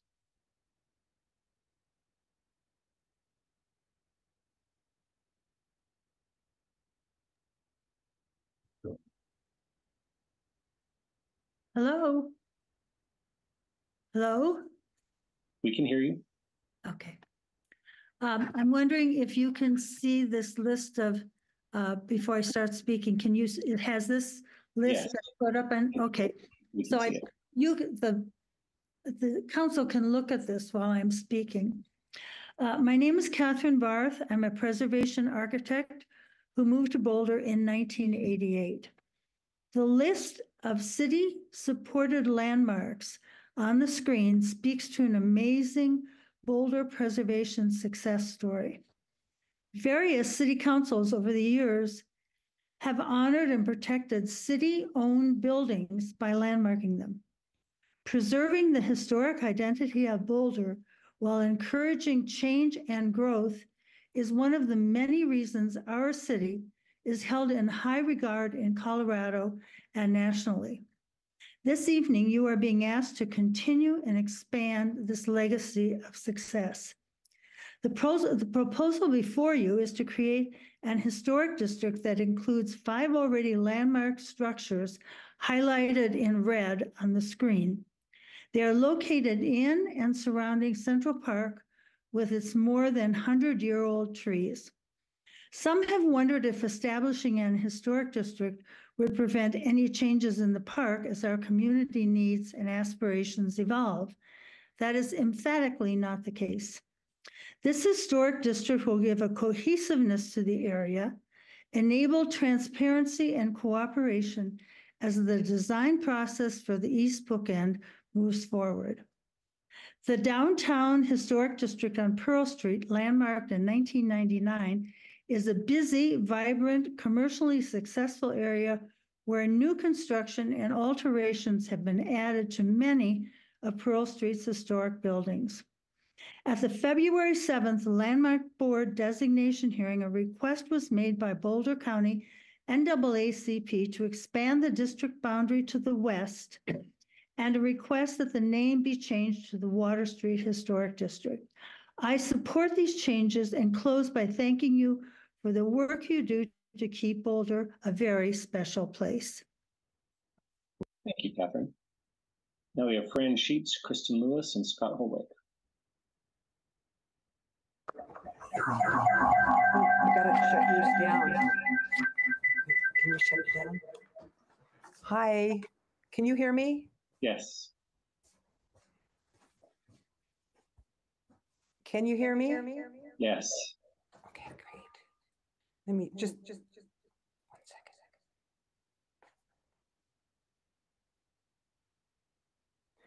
Okay. Okay. I think you still have an echo. Shoot, what's on? We do. You might turn your um, speaker volume down. We can still hear you from the microphone, but it might eliminate the echo. Is that better? Yeah. Okay, great, because I can't hear you very well at all. Um, My name's Fran Mandel Sheets, and I've lived in Boulder since 1974.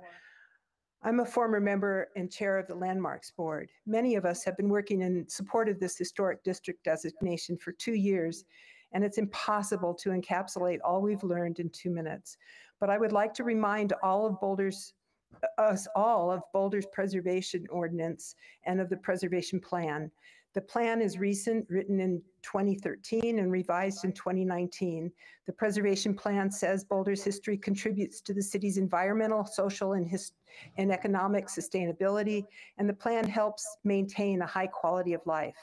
The plan says, I quote, the district as an entity should show character, interest, or value as part of development, heritage, or cultural characteristics of the community, state, or nation, be the site of historic or prehistoric events that have had an effect on upon society or exemplify the cultural, political, economic, or social heritage of the community, unquote.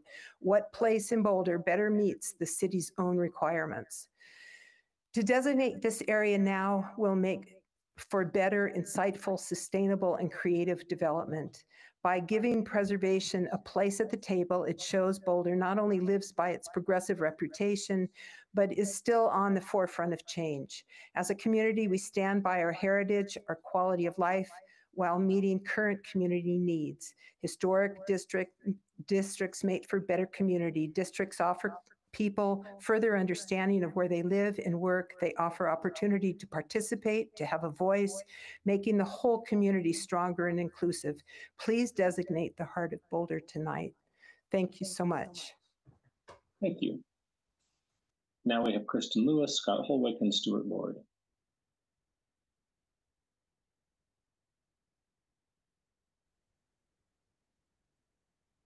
Can you hear me? Yes. Okay. My name is Kristen Lewis. I'm an architect. For 25 years, my office has been located nearby on 14th Street.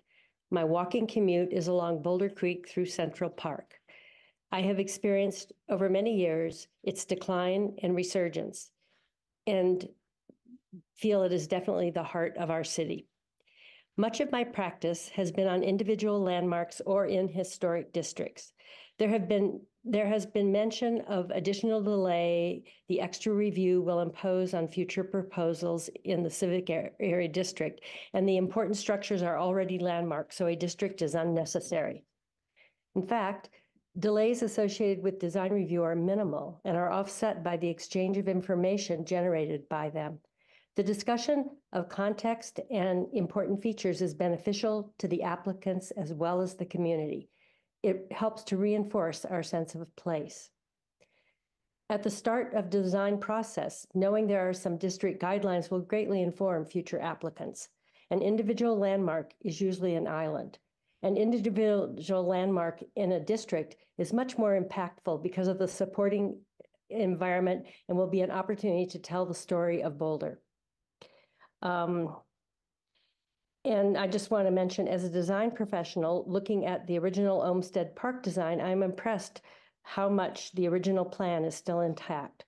The Olmsted firm was instrumental in providing groundwork for some of the most important features Boulder has to offer. We can thank Olmsted for the idea of a linear park along Boulder Creek, establishing view corridors in their civic park design, citing the municipal building, and suggesting other civic structures.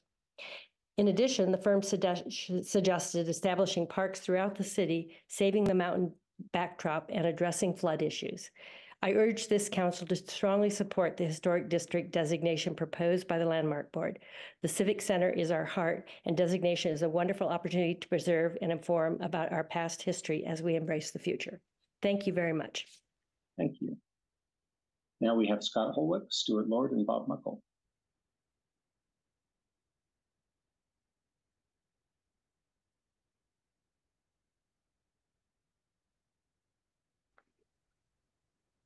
Can you hear me, Mr. Mayor? Yes. Thank you, sir. Uh, good evening, Mr. Mayor, council members. My name is Scott Holwick. I'm an attorney in specializing in water rights, the firm Lyons Gaddis PC in Longmont. Our address is 515 Kimbark Avenue.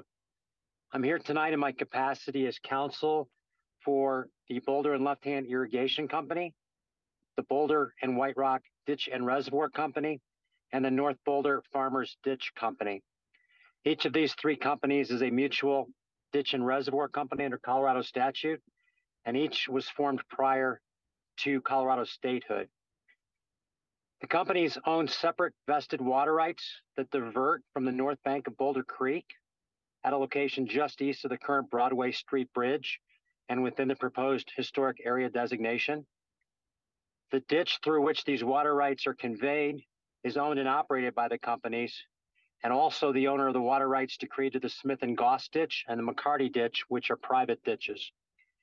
The ditch runs east from that diversion headworks through Central Park and the existing box culvert under 13th Street, where it then passes between the Dushanbe Tea House and the Boulder Museum of Contemporary Art. The separate water rights continue down ditch for use throughout the city and the county. The city uses the ditch and calls and refers to it as the Boulder Slough for stormwater management. And the city is a shareholder in each of the three companies, using its share water for municipal purposes, including irrigation of the city owned open space lands. The ditch companies wanted to make sure that the city council knew how appreciative they were of the collaborative efforts by the city and by the Public Works Department to help craft protective language for the ditch company's easement and property rights through this process and agree that the language and in particular section five of the proposed ordinance works very well for the ditch companies as it did when we did the Dushanbe ordinance several years back. Thank you for your audience and I appreciate your time. Thank you. Now we have Stuart Lord, Bob Muckle, and Lynn Siegel.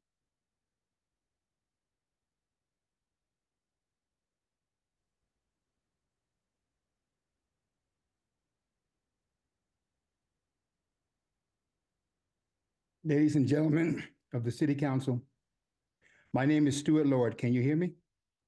Yes. I am an executive member of the NAACP. Imagine a boulder where every step you take is imbued with the rich tapestry of history, where every corner tells a story of resilience, struggle, and triumph. Picture walking through Water Street Park, where the echoes of the past mingle with the whispers of the present, where the spirit of our ancestors beckon us to honor the legacy.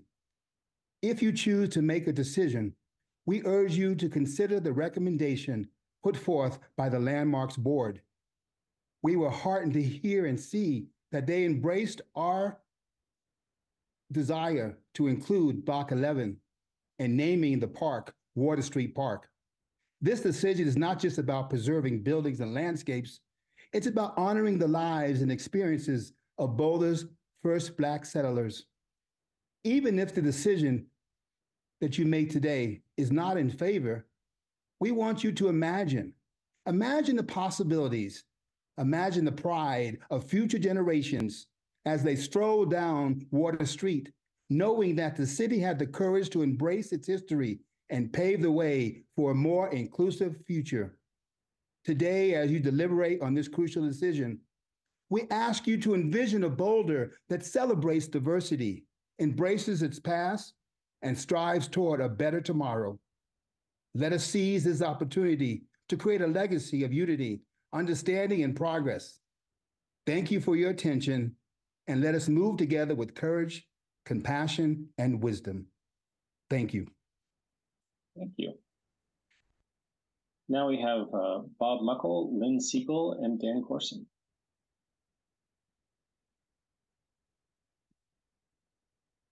I'll ask like everyone has. Uh, can you hear me? Yes. Thank you. So, uh, so thanks, uh, City Council, for this opportunity to uh, present to you. I'm Bob Muckle. I'm the immediate past president of Historic Boulder.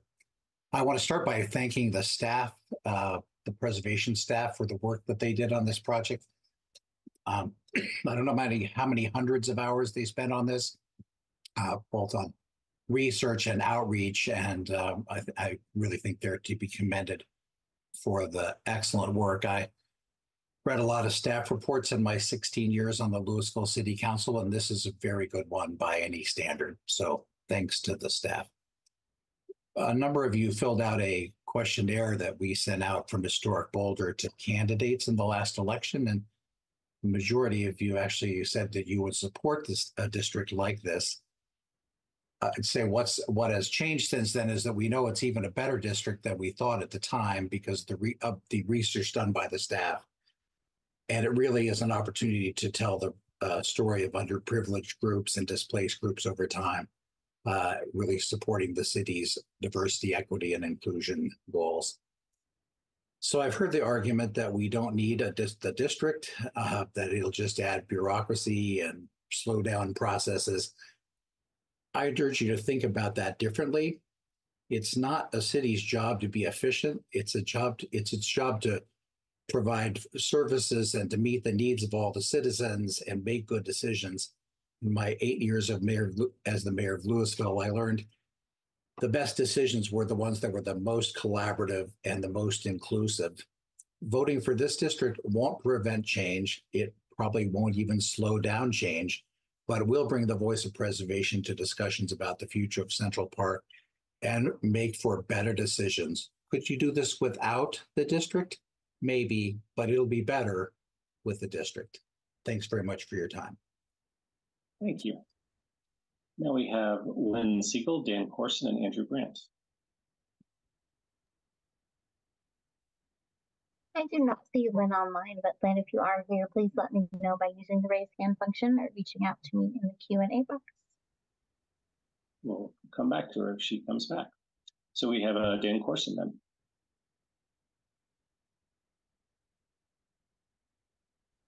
Got it. Okay, thanks. Besides my years on the Boulder City Council, I've had a career in the field of historic preservation. My experience tells me that this area would qualify not only as a local historic district, but also a national one because of its historic significance. I want to assure you that the historic district designation of this area, including Central Park, will not prohibit additional development. You can see that in what has occurred in other districts with city ownership, namely Chautauqua and downtown Boulder. In Chautauqua, recent alterations have included improvements in the playground, contemporary dark sky lighting, a structure for trash recycling and compost, a restroom structure outside of the auditorium, kiosks, and solar panels on two cottages which the owners requested. The Ranger Cottage was built in the 1980s, years after the 1978 designation. Downtown was designated a National Register Historic District in 1980, with local designation coming later. Later, the landscape elements of the Pearl Street Mall have, and uh, the solar panels panels on the courthouse were approved through the city's landmark program. As you may know, the state of Colorado has an initiative through the governor's Colorado 150 Commission to designate 150 new historic sites associated with underrepresented groups by the time of the state's sesquicentennial, sesquicentennial in 2006.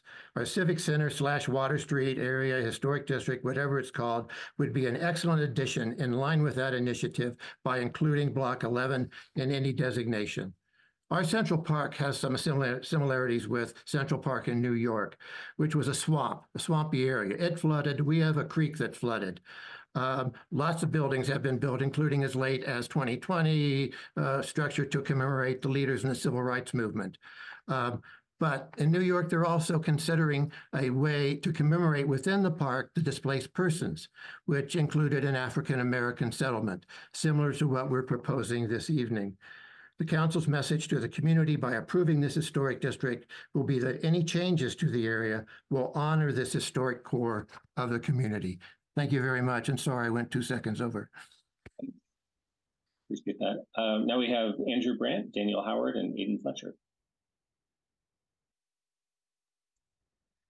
Uh, good evening, council members. Uh, my name is Andrew Brandt, and I'm here to speak in favor of your vote to adopt the historic district in downtown Boulder. Um, I've already submitted a lengthy essay stating in detail why this designation is so important, why the history that's been uncovered during the investigation into this area raises major concerns about Boulder's past mistreatment of its earliest Black residents, and why I think you should support designation as a way to counter that historic injustice as an explicitly anti-racist act. So I won't try to summarize what I've already sent to you. Instead, I'd like to make this point. There's nothing in the landmark designation that says that the historic district has to be the same as it was 100 years ago. There's also nothing in the Boulder Revised Code that says a designated district may never change in the future. Adopting this designation will not hinder the beneficial development of the park. It will not mean that Parks and Rec cannot mow the grass or plant a tree or, God forbid, build a public restroom in Central Park or make modifications to the grassy area next to the main library. The irony is not lost on me that the arguments against designation in favor of development mirror the words of those people 100 years ago whose actions destroyed this community.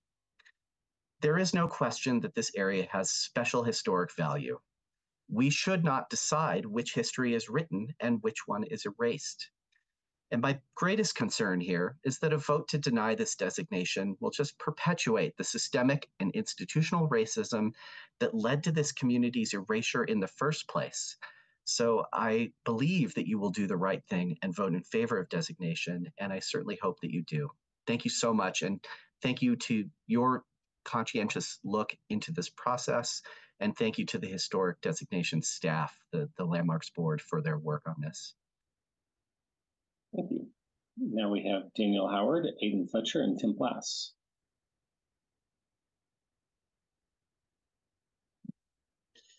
Uh, thank you. Uh, thank you, City Council. I'm in a complicated position regarding this historic des designation, depending on how the history of this place would be told.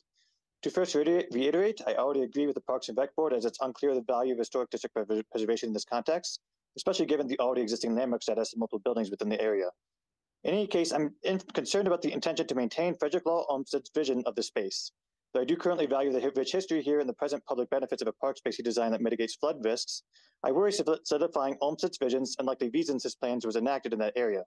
For example, the Lions Club donated $20,000 to, to fund improvements of the park in 1938, while at the same time funding a nearby community pool which only allowed white people to use it. To highlight Olmsted's first vote in his Improvement of Boulder report, referenced in your packet, that our object is in all cases to achieve order with a capital O, if possible, a supreme instance of order, which will be beautiful. At the time, order meant racial order, and thus the creation of the park was the result of an intentional effort to displace people of color and marginalized groups, as you already learned were housed there earlier in, in earlier presentations. So I leave you with a choice. If you feel this district furthers telling the stories of, the, of this displacement, so we the Boulder community can confront that history meaningfully and be better for it, then this is a worthwhile district to preserve. However, if this district is meant to maintain or even celebrate Olmsted's vision and further exclusion of low-income and racial minority people in our community, perhaps by complicating the creation of housing or adaptive reuse of properties within or abutting this area, then I would amend this proposal towards centering that, that uh, narrative or outright deny the application. I will leave you with a quote from the opening keynote at Boulder Saving Places Conference a few months ago, first written relating to the passage of the National Historic Preservation Act.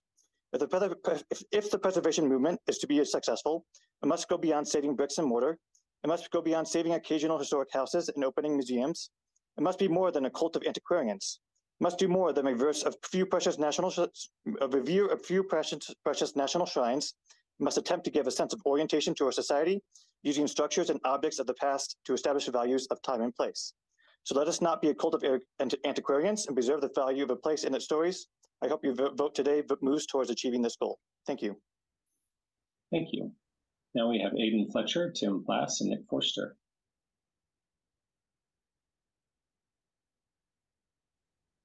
Good, good evening, everyone. My name is Aiden Fletcher. I am a sophomore at CU Boulder at the Leeds School of Business. The latest report from Colorado Preservation Incorporation, which was funded by the state and provides insights into historic preservation, revealed that in 2015, 21% of tourists visited historic sites. This mark, marked a significant increase from the previous year, 2014, where the percentage of heritage tourism was 16%.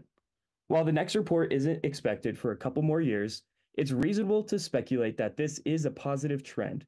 Assuming a conservative estimate that the percentage remains steady at 21%, it can be inferred that approximately $29 million of Boulder's $137 million in retail sales tax revenue from 2022 likely came from heritage tourism. This $29 million figure is compelling evidence to prioritize and expand Boulder's preservation program, recognizing its potential as a powerhouse for revenue generation.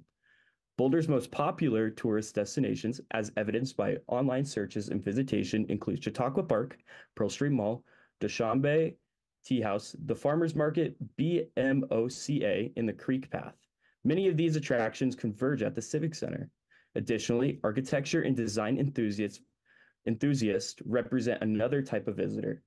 As a member of this group, I can confidently attest that these visitors will act, actively seek out Olmsted sites, establishing a new historic district has the potential to attract even more visitors to Boulder, leading to increased sales for hotels, restaurants, and shops, job, job creation, and a boost in sales tax revenue. Thank you. Thank you. Our last two speakers are Tim Plass and Nick Forster.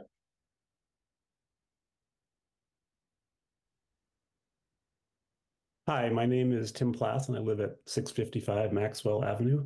And I'm speaking to you tonight in support of the creation of the Civic Area Historic District. The application clearly meets the criteria for designation, the staff presentation, the exhaustive packet uh, for the item, as well as the presentation from Historic Boulder, establish that the historic uh, district requirements are met. I think the proposal is of particular significance because the city is the owner of the property. And it's an issue that's near and dear to my heart because I served formerly on the landmarks board, the planning board, and the city council.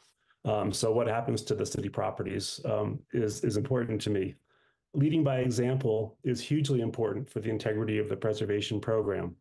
Uh, the city needs to walk the walk. To do otherwise will set a poor example. If the council decides not to create a historic district, when presented with a clearly eligible resource, I ask you to consider what message that sends to private property owners with historic properties as the city moves forward with implementing the preservation plan. The mandate for the city to be a leader in, the pres in preservation has been memorialized in multiple planning documents, including the comp plan.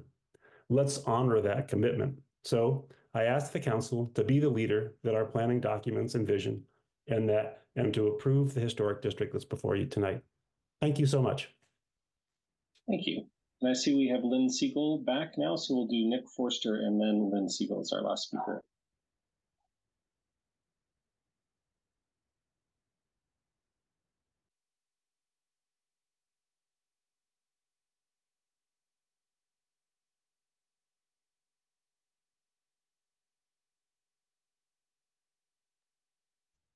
Nick, your mic is open if you'd like to unmute.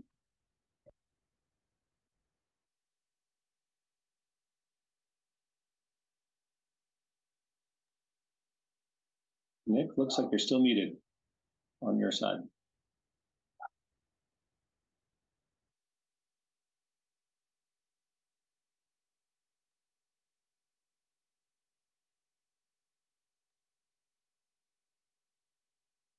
Uh, let's see. How about we go to Lynn and then we'll come back to Nick.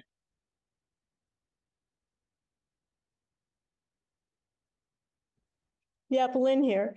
Yeah, um, I heartily support this historic district. The economic revenue to the city will be high for keeping this space. Um, I'm passionate about saving buildings.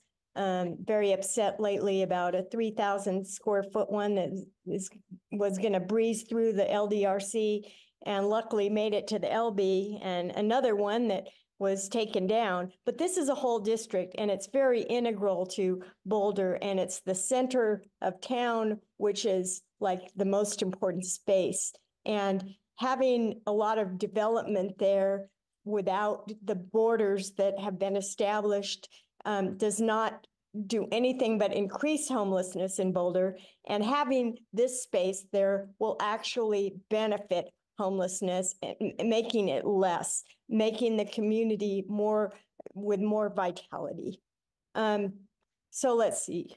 Regarding other issues, um, the you know the central part of it, the farmers market, the all of the things that it draws to bring to the city, CU being nearby. Um, uh, it's it's uh, what's curious to me is why this has been debated so much. How, why wasn't this just a matter of fact that this just happens a, long time ago?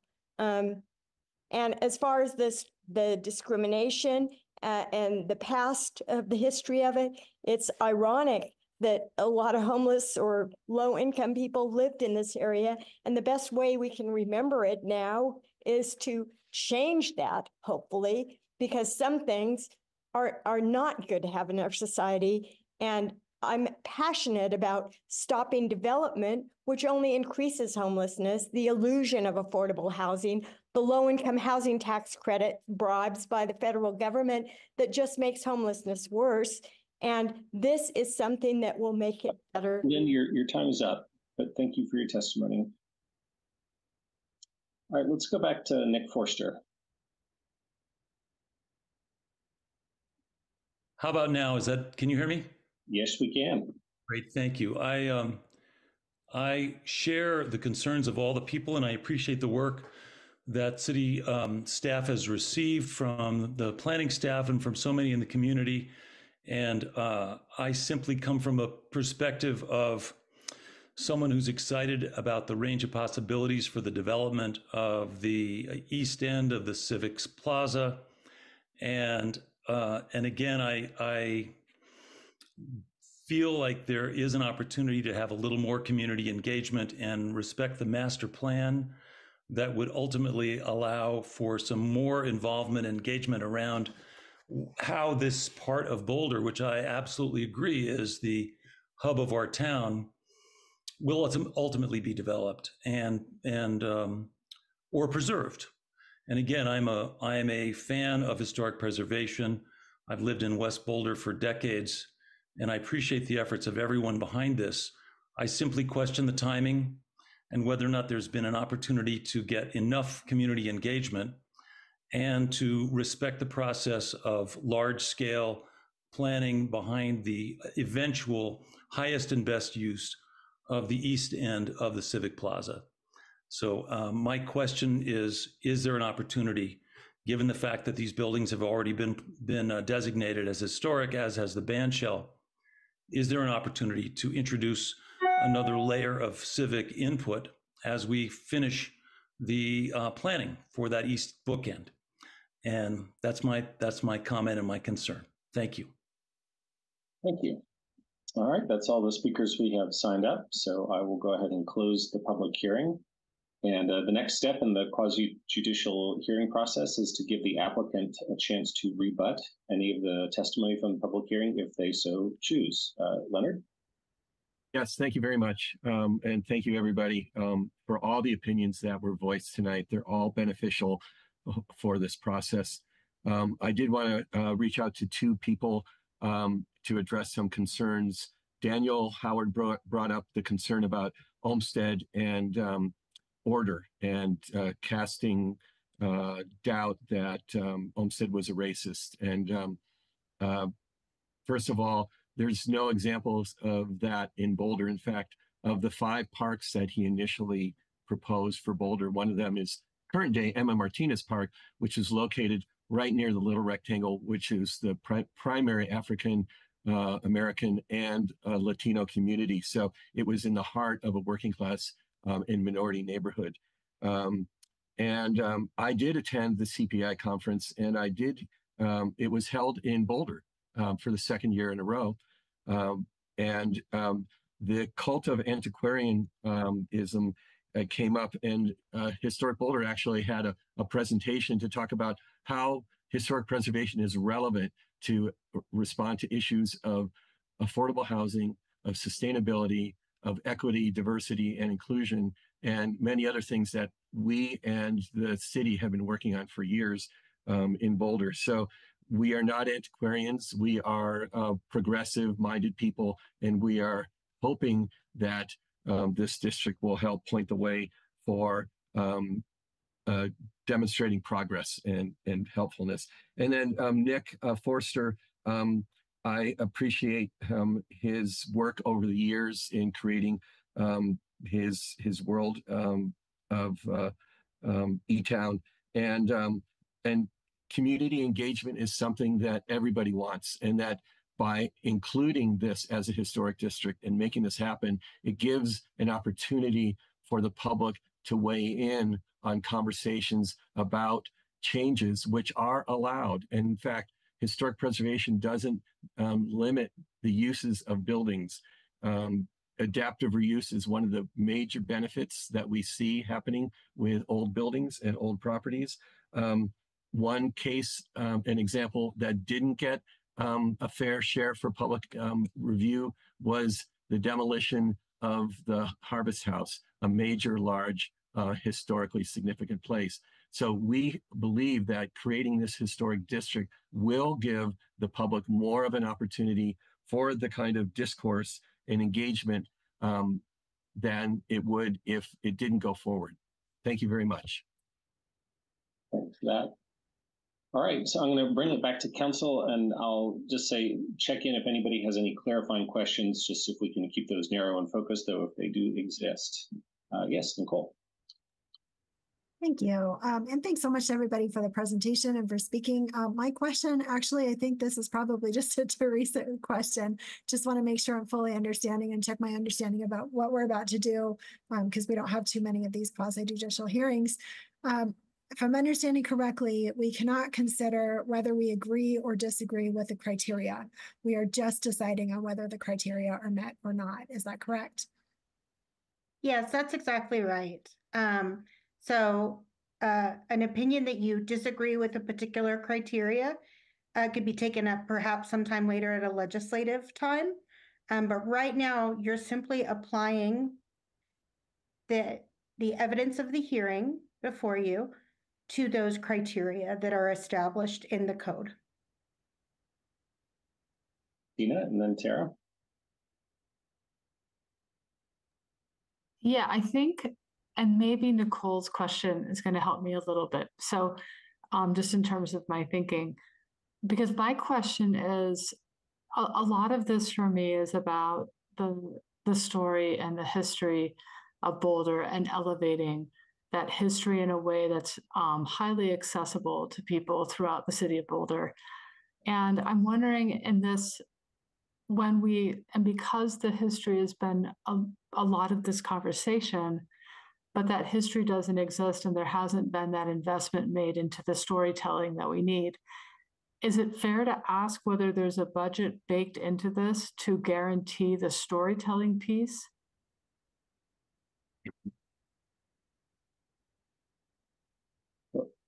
I guess Teresa might look to you, but I think you could ask that question for follow up. But that that would I don't don't believe that should be a part of the decision that's made on okay. the criteria.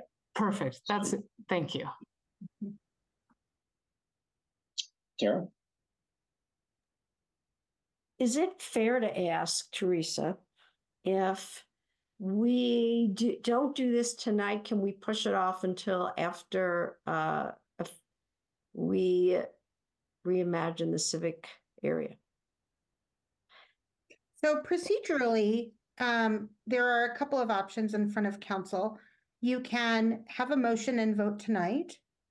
You could continue a public hearing to a date certain in the future where you will consider this. However, the code does require that you take this decision up within a specified amount of time. And um, I'm afraid I don't, within 75 days of the date of any decision of the, by the landmarks board, you all have to have acted. So you wouldn't be able to continue this um, for for many months or even a year. If that were the case, um, well, proce- procedurally, an option would be to deny, which would then foreclose another application for a year. Um, after which time a new application could come forward. And so I think those are just laying out each of your procedural options. That's what those are. So I guess in other words, Tara, to do something like what you described, that would require denying the, the application at this time with with the possible possibility of it coming back sometime in the future. Okay, Tara, does that answer your question?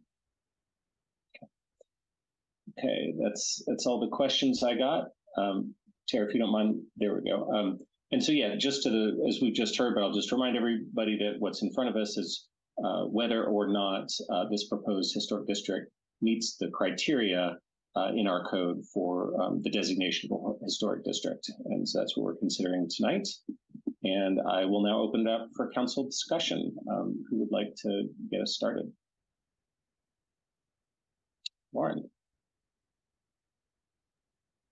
I apologize ahead of time. This is a little bit lengthy. Oh boy.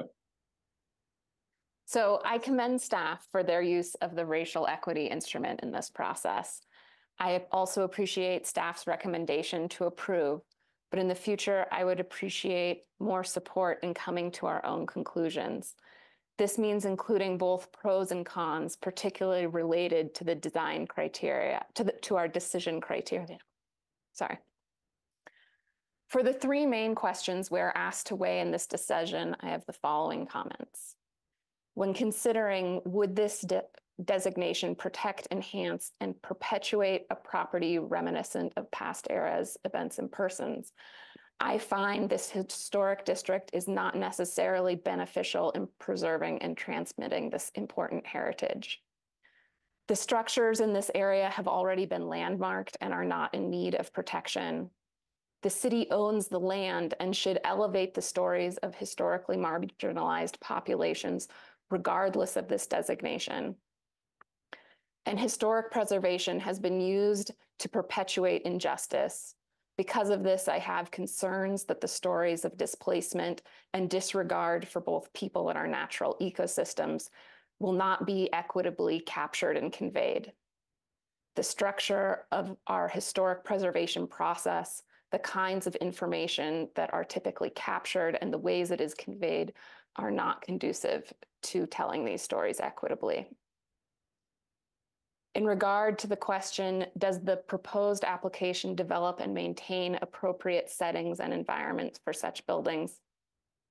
I find it telling that there is disagreement about the boundary we are talking about, the time period we are preserving, and the heritage we are trying to capture.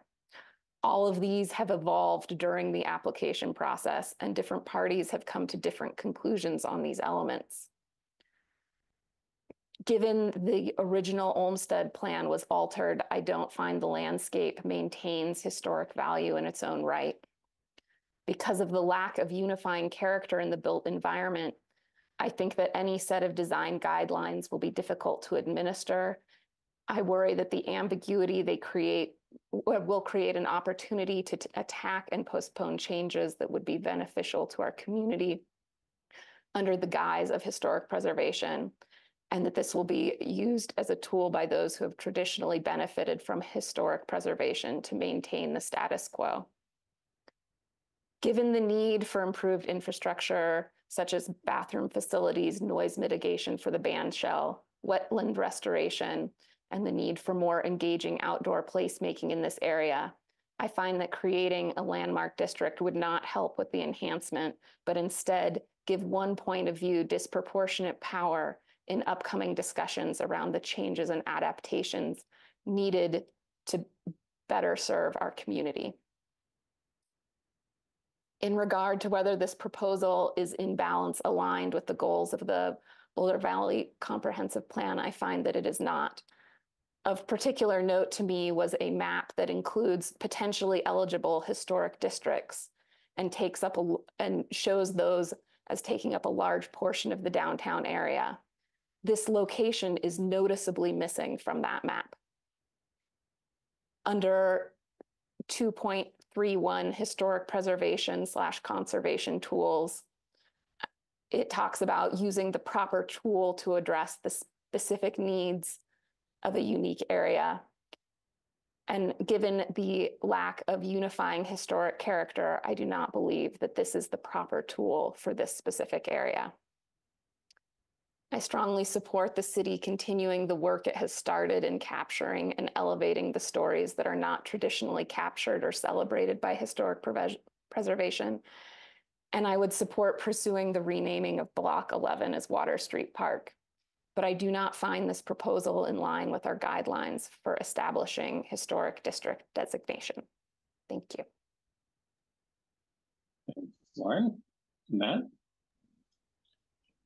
Well, that's a, that's a tough one to follow. Uh, Lauren knocked that out of the park, um, and and conveyed much of what I was going to say. I, my the area for me that was that I'm I'm that's problematic for me is uh, BRC nine eleven um, that question B on enhancing property value, stabilizing neighborhoods, and promoting um, uh, tourist trade and interest. I, I, am struggling how we're going to get there um, with this district, um, and and the nature of you know the buildings are already protected, and so what we're protecting are blades of grass, and I'm struggling with how that meets the standards um, that, that, that are set forth in both the Boulder Revised Code and the comp plan. Um, so, um, but Lauren, I, I, can't say much more. Lauren uh, did an outstanding job laying out the, that that argument and that perspective, and I appreciate her for saying that.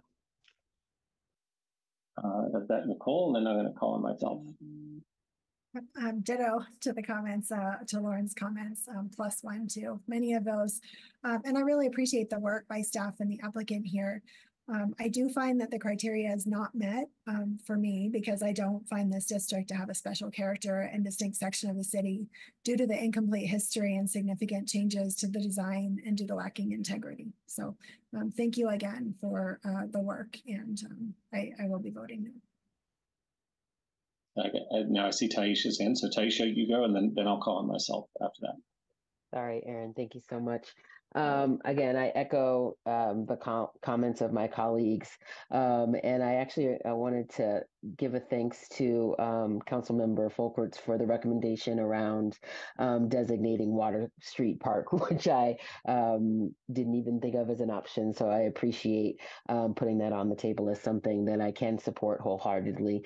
but I also, again, you know, if we're going to tell the history and make this historic, I, I would be remiss if you know I, I am um, you know I know what it's like to be erased, and so it's wonderful to get Block Eleven and and have that rich history of of of of um, African and Black Americans here.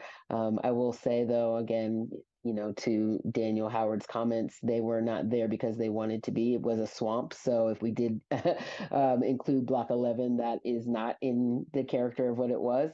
Um, and therefore, I would rather support uh, Water Street Park and the opportunity to, um, you know, envision other ways that we can honor um, the rich history and diverse history that we have here. I'm also hopeful to have more Indigenous voice um, and tribal voice in these conversations. And um, and so therefore, um, you know, I, I, would not be able to support this in totality, but I would be I'd be I would be willing to consider after uh, we have um, you know done the work with with the civic area and um, had more engagement in our both our tribal and indigenous um, community and um, um ancestral stores of this land. Thank you. Aisha. All right, I'll call myself and then Ryan and Tina. Um, well, Lauren, uh, you did an extraordinary job there with that uh, analysis of the criteria. It's extremely well documented. I, am not going to agree with your interpretation, though. Uh, you know, forgive me, but um, I did. I do feel like actually staff's analysis of the criteria was really detailed and spot on. Uh, an enormous amount of work went into getting to this point, and an enormous amount of analysis uh, which you know we we saw documented in Marcy's uh, presentation. I particularly loved the story map. Yeah, I, I thought that was so compelling as a way to learn about the area. And I remember in in going through that, um, I was thinking about whether this should be designated as a, historic district, and found um, you know the information in that really compelling. Uh, much of that history has been erased, and I agree with my colleagues that there are multiple ways of acknowledging that, but I feel like the designation of this district as the Water Street Historic District would be an excellent uh, way of um, both offering some level of preservation and review, but also acknowledgement of the kind of rich history, um, much of which no longer has visible remnants, um, if we, particularly if we include Block 11. Um, so I, I, I think the, the criteria analysis by staff was was spot on. And I think if we designate this as a district, we can take all of those materials um, that have been created as part of that and roll it into the designation of the district, and then um, roll that out in interpretive format um, into um, into the Central Park area, uh, which I think would make for a really compelling story for about the the past, both the the, the written past and the and the erased past uh, that we could then make visible to our residents going forward. So I would support the creation of the district. Uh, okay, I got um, Ryan. Thank you again, Marcy, for leading us through this process and then synthesizing and presenting so much. I'm so impressed by your work. Um, and I also uh, really appreciate the novel use of the racial um, equity instrument here. Uh, I'm also very grateful for so many people coming together to contribute so much love and research um, to this.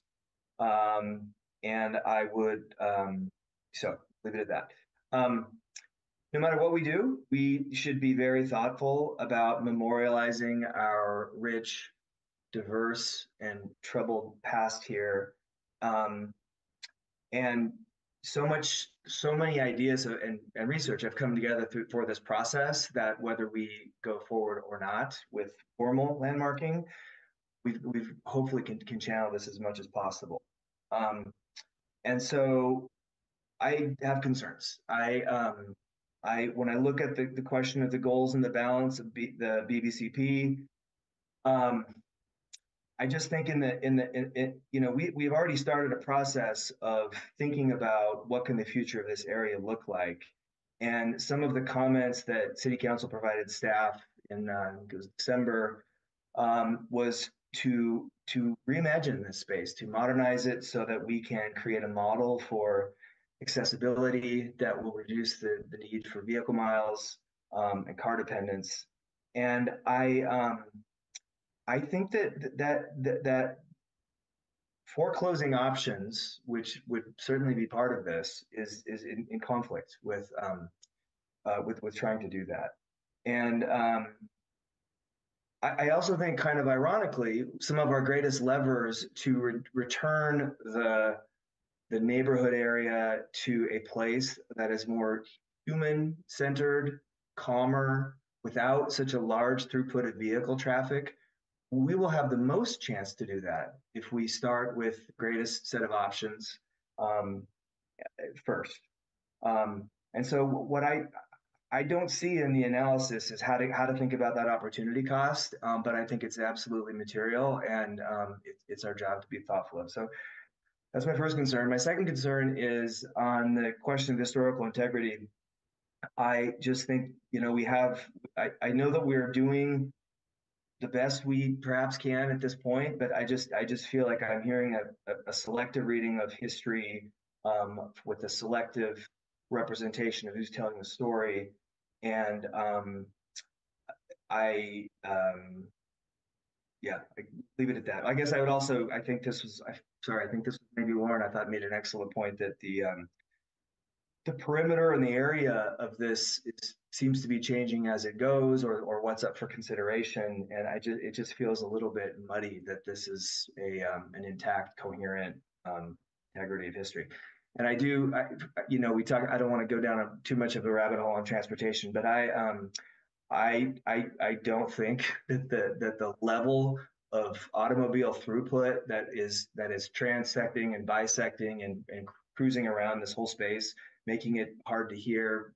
difficult to, in some cases, feel like it's even comfortable to be there. I don't think that is that is a historical um, representation. Um, so I, I, from a historical integrity standpoint, I have challenges. I would also just say I, I would like to acknowledge the board the board members um, who have weighed in on this and, and suggested challenges. Um, so I, I'm going to be a no. Um, I, I, do, though, separately want to just emphasize that that um, that you know I've heard some people say that that we have to get this right in order to create such a, a, a good space that's good for tourism and visitors, and I agree with that.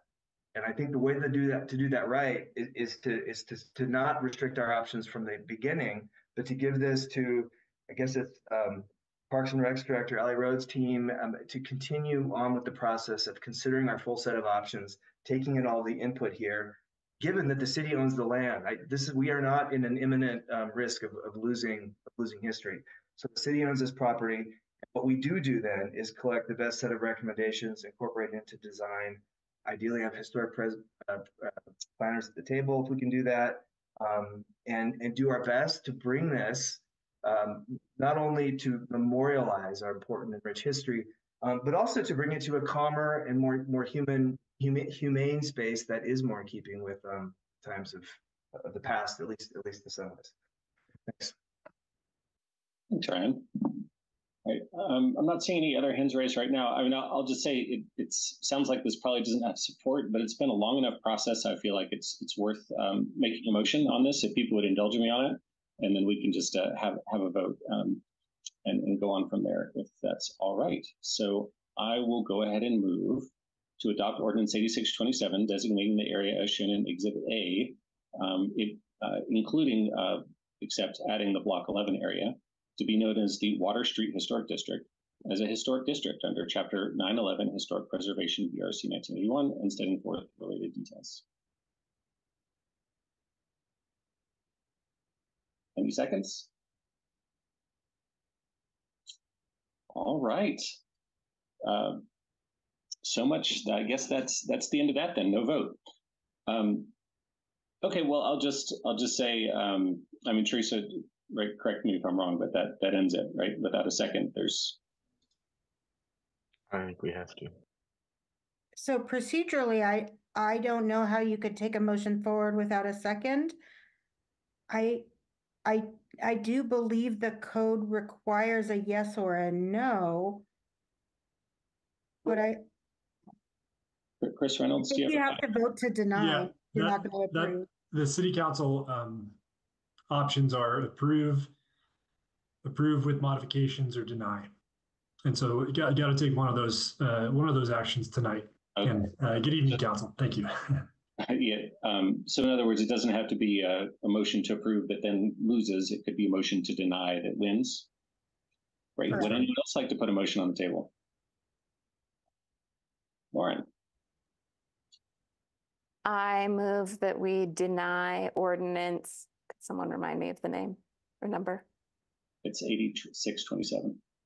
Eighty-six twenty-seven. And related details. And, um, Chris or Teresa, do we need an outline, a finding of facts to accompany that? So Mayor, the finding of facts can be developed over the next forty-five days. Um, certainly we'll use the record from this, uh, to bring back some findings of facts for the approval of the council. Very good. We have a motion. Do we have a second? Second. Uh, got a motion and a second. Um, I don't know that we need further discussion. Uh, Elesha, could you do the roll, please? This is a motion to deny. Yes, sir. Uh, the motion to deny ordinance eighty-six twenty-seven will start with you, Mayor Brockett. No. Councilmember Folkerts, Yes. Marquis, Yes. Schuhard, Yes. Mayor Pro Tem Speer, Yes. Councilmember Winer, Yes. Adams, Yes. I didn't hear Councilmember Adams. I heard a yes. Okay, Yeah, she said yes. all right, thank you. Benjamin, Yes. all right, the motion to deny ordinance eighty-six twenty-seven is hereby approved with a vote of seven to one. All right. I think that finishes that out. I would just like, to, um, Lauren, I'll go ahead and call on you and then I'll say a few words. I did just want to clarify, you know, some of my comments around the memo. I really, really appreciate the amount of detail. And I think that the, the work that has gone into this is not for naught. You know, I think that there is a lot um, of opportunity for us to bring forward this information um, and to continue this research. I, on my comment about the memo, it was just that under the um, decision, the our decision criteria, we only received um, information in support of the criteria, and I would really have liked to see both pros and cons regarding the criteria. Thank you. Thanks. Tina and then Matt.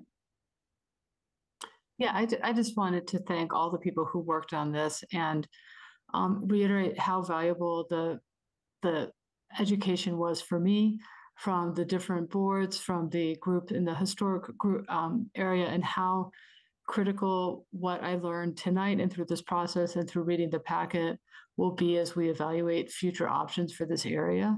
I also don't, I, I absolutely agree that this is the heart of Boulder and it's a critical area. It's an area of connection.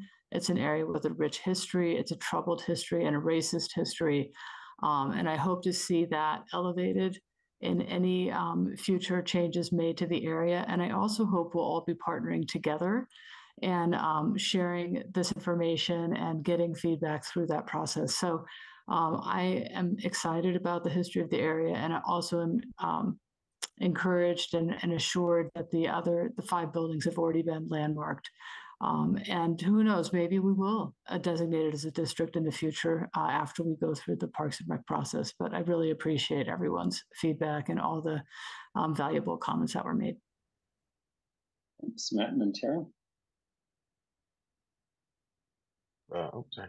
Uh, I appreciate the comments that have come before, and I just want to say that I, I don't think this shouldn't foreclose the uh, work about the rich history that's there. In fact, I think it should be just the beginning of of a lot of great work that we need to continue, and any work we do in that space needs to be putting that history, um, both the the good the stuff we celebrate and the stuff that makes us uncomfortable, um, at the forefront of that work that we're doing, and and um, you know, at some point, I think that there's an opportunity for um, this historical district plan to to get a little bit more time in the hopper and build a much deeper, rich history, so that we actually have a real clear sense of what we're protecting, why, how, and for whom.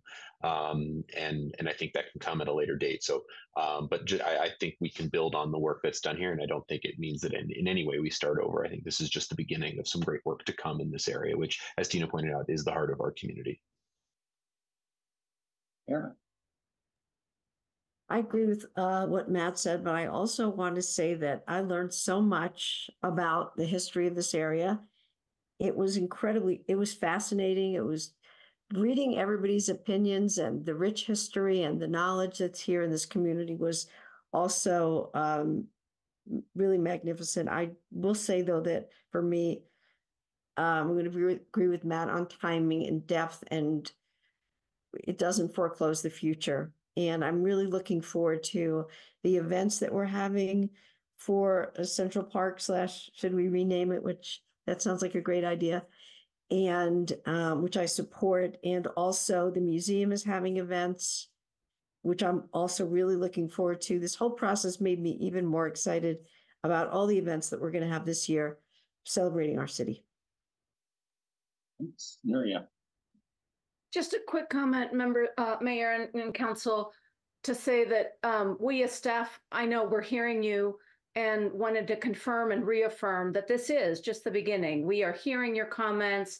This work is not going to in vain. This is just the start. Not only are we hearing the comments of the work that has been done, but the work that is yet to come. There, there are and have been um, ancestral and indigenous voices that we want to bring into the conversation as well.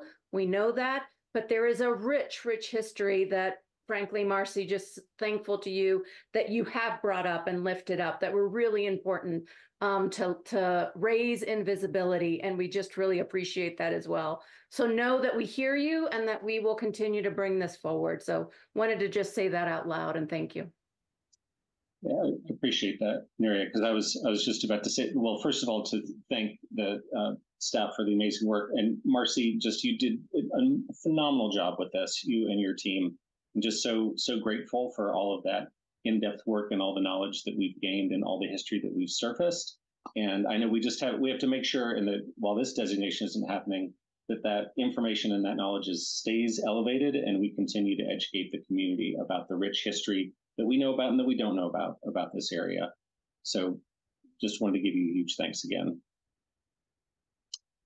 Um, and, and, as well, I wanted to thank our board members who stuck with us uh, tonight. I appreciate you joining us. It's been kind of a long evening, so thank you for doing that. Um, and then the applicants also poured a huge amount of heart and soul and work into this. So wanted to acknowledge that and uh, recognize that as well. All right. And uh, with that, I think we can close this item um, and move on to our next matter item, if we could please, Elesha. Yes, sir. Thank you. Our next item on tonight's agenda is item number four, matters from the city manager. 4A is the Vision Zero Action Plan update. Thank you. Uh, and tonight's discussion comes at Councilmember Schuhard's request, but we know that City's Vision Zero efforts, efforts aimed at ensuring that no one in our community is killed or seriously injured in traffic crashes on our streets, is shared by each and every one of you. And unfortunately, I'll say that the request really came after the tragic crash that killed one of our own community residents, 90 year old Virginia Knowlton, when she was crossing the street at Broadway and Alpine.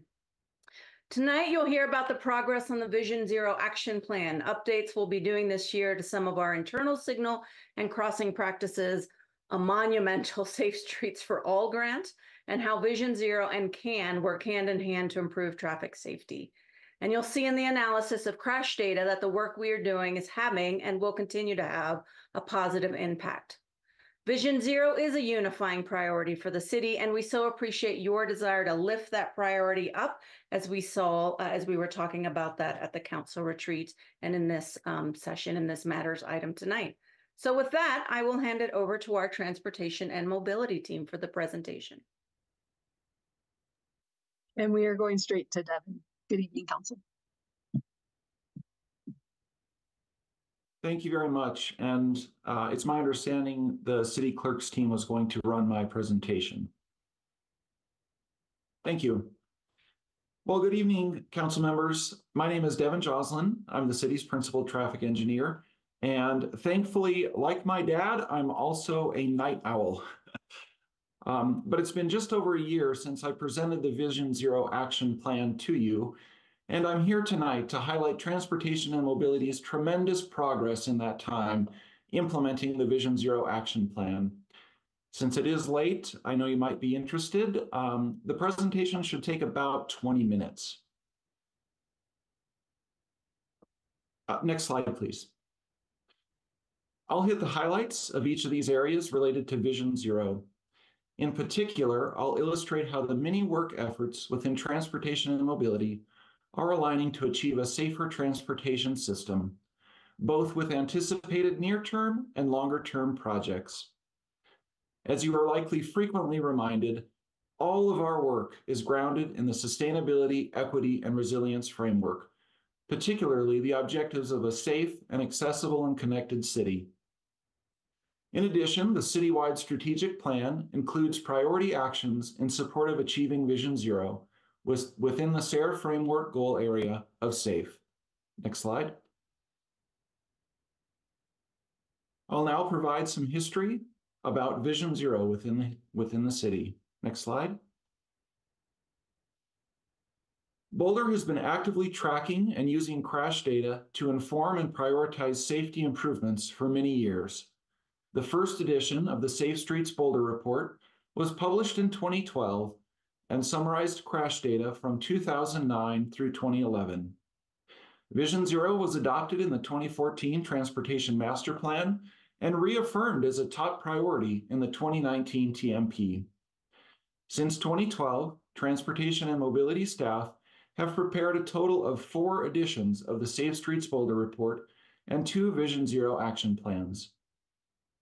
The most recent action plan draws upon all lessons learned from prior efforts and incorporates many national best practices for reducing crashes. It, include, it includes actions for the five-year period from 2023 through 2027. I'll talk more about the action plan later, but these next few slides will give you better context about the crash trends in Boulder and how we are making progress. Next slide. This slide shows the past 15 years of crash history from 2009 through 2023. Total crashes have continued to decrease from the highest total in 2016. There was a 45% decrease in total crashes in 2023 compared to 2016. On average, over the past 15 years, severe crashes account for approximately 2.3% of all crashes that occur each year, Severe crashes are those that result in serious injury or a fatality. The next few slides will provide additional context about how crash trends are tracking and how Boulder compares to other Front Range cities. Next slide. When comparing the most recent three-year crash data to crash data from 2018 through 2020, we see that five of 10 areas of concern decreased by 5 or 5% or more, while only one in 10 areas of concern increased by 5% or more. And that was crashes involving people riding a motorcycle. Thus, although the total number and total number of severe crashes occurring each year has held relatively steady, progress is being made in reducing severe crashes in many key areas of concern. Next slide.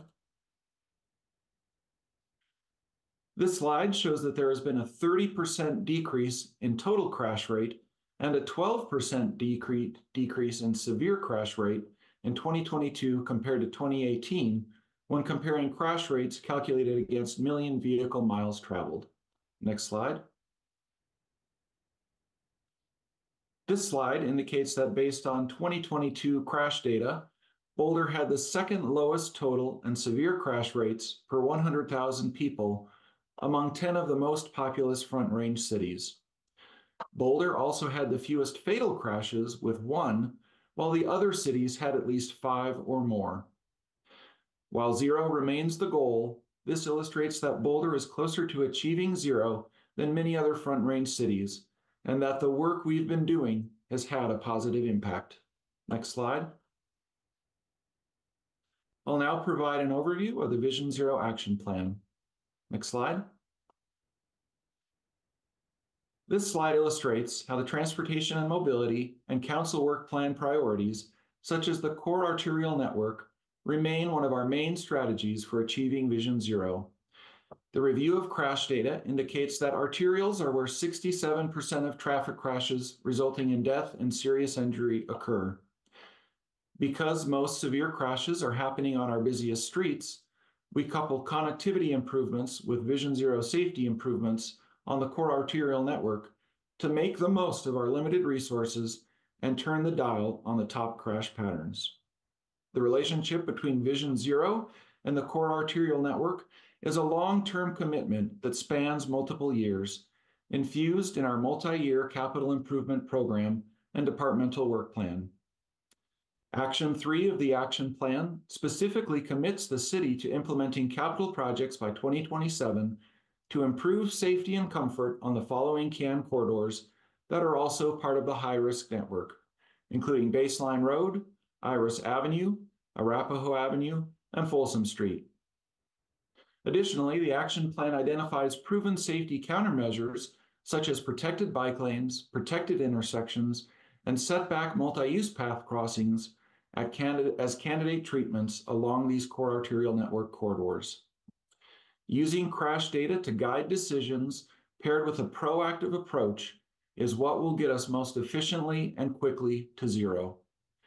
It was the action plan that paved the way for the city to apply for and be awarded a monumental $23 million Safe Streets and Roads for All grant, the largest grant of any kind in the city's history. Next slide. The Vision Zero Action Plan incorporated a systemic safety analysis.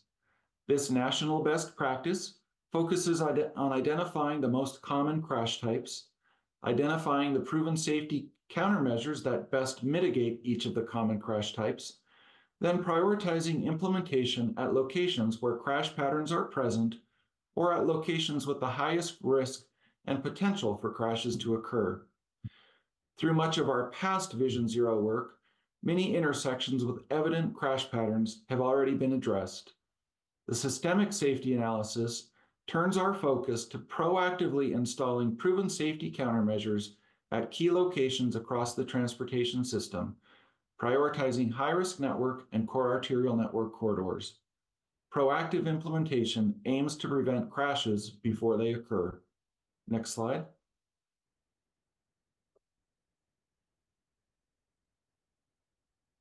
This map shows where the core arterial network corridors and the high-risk network overlap, shown in blue. The high-risk network was developed as part of the action plan as a way to prioritize and organize the implementation of actions to achieve the greatest impact in the shortest amount of time.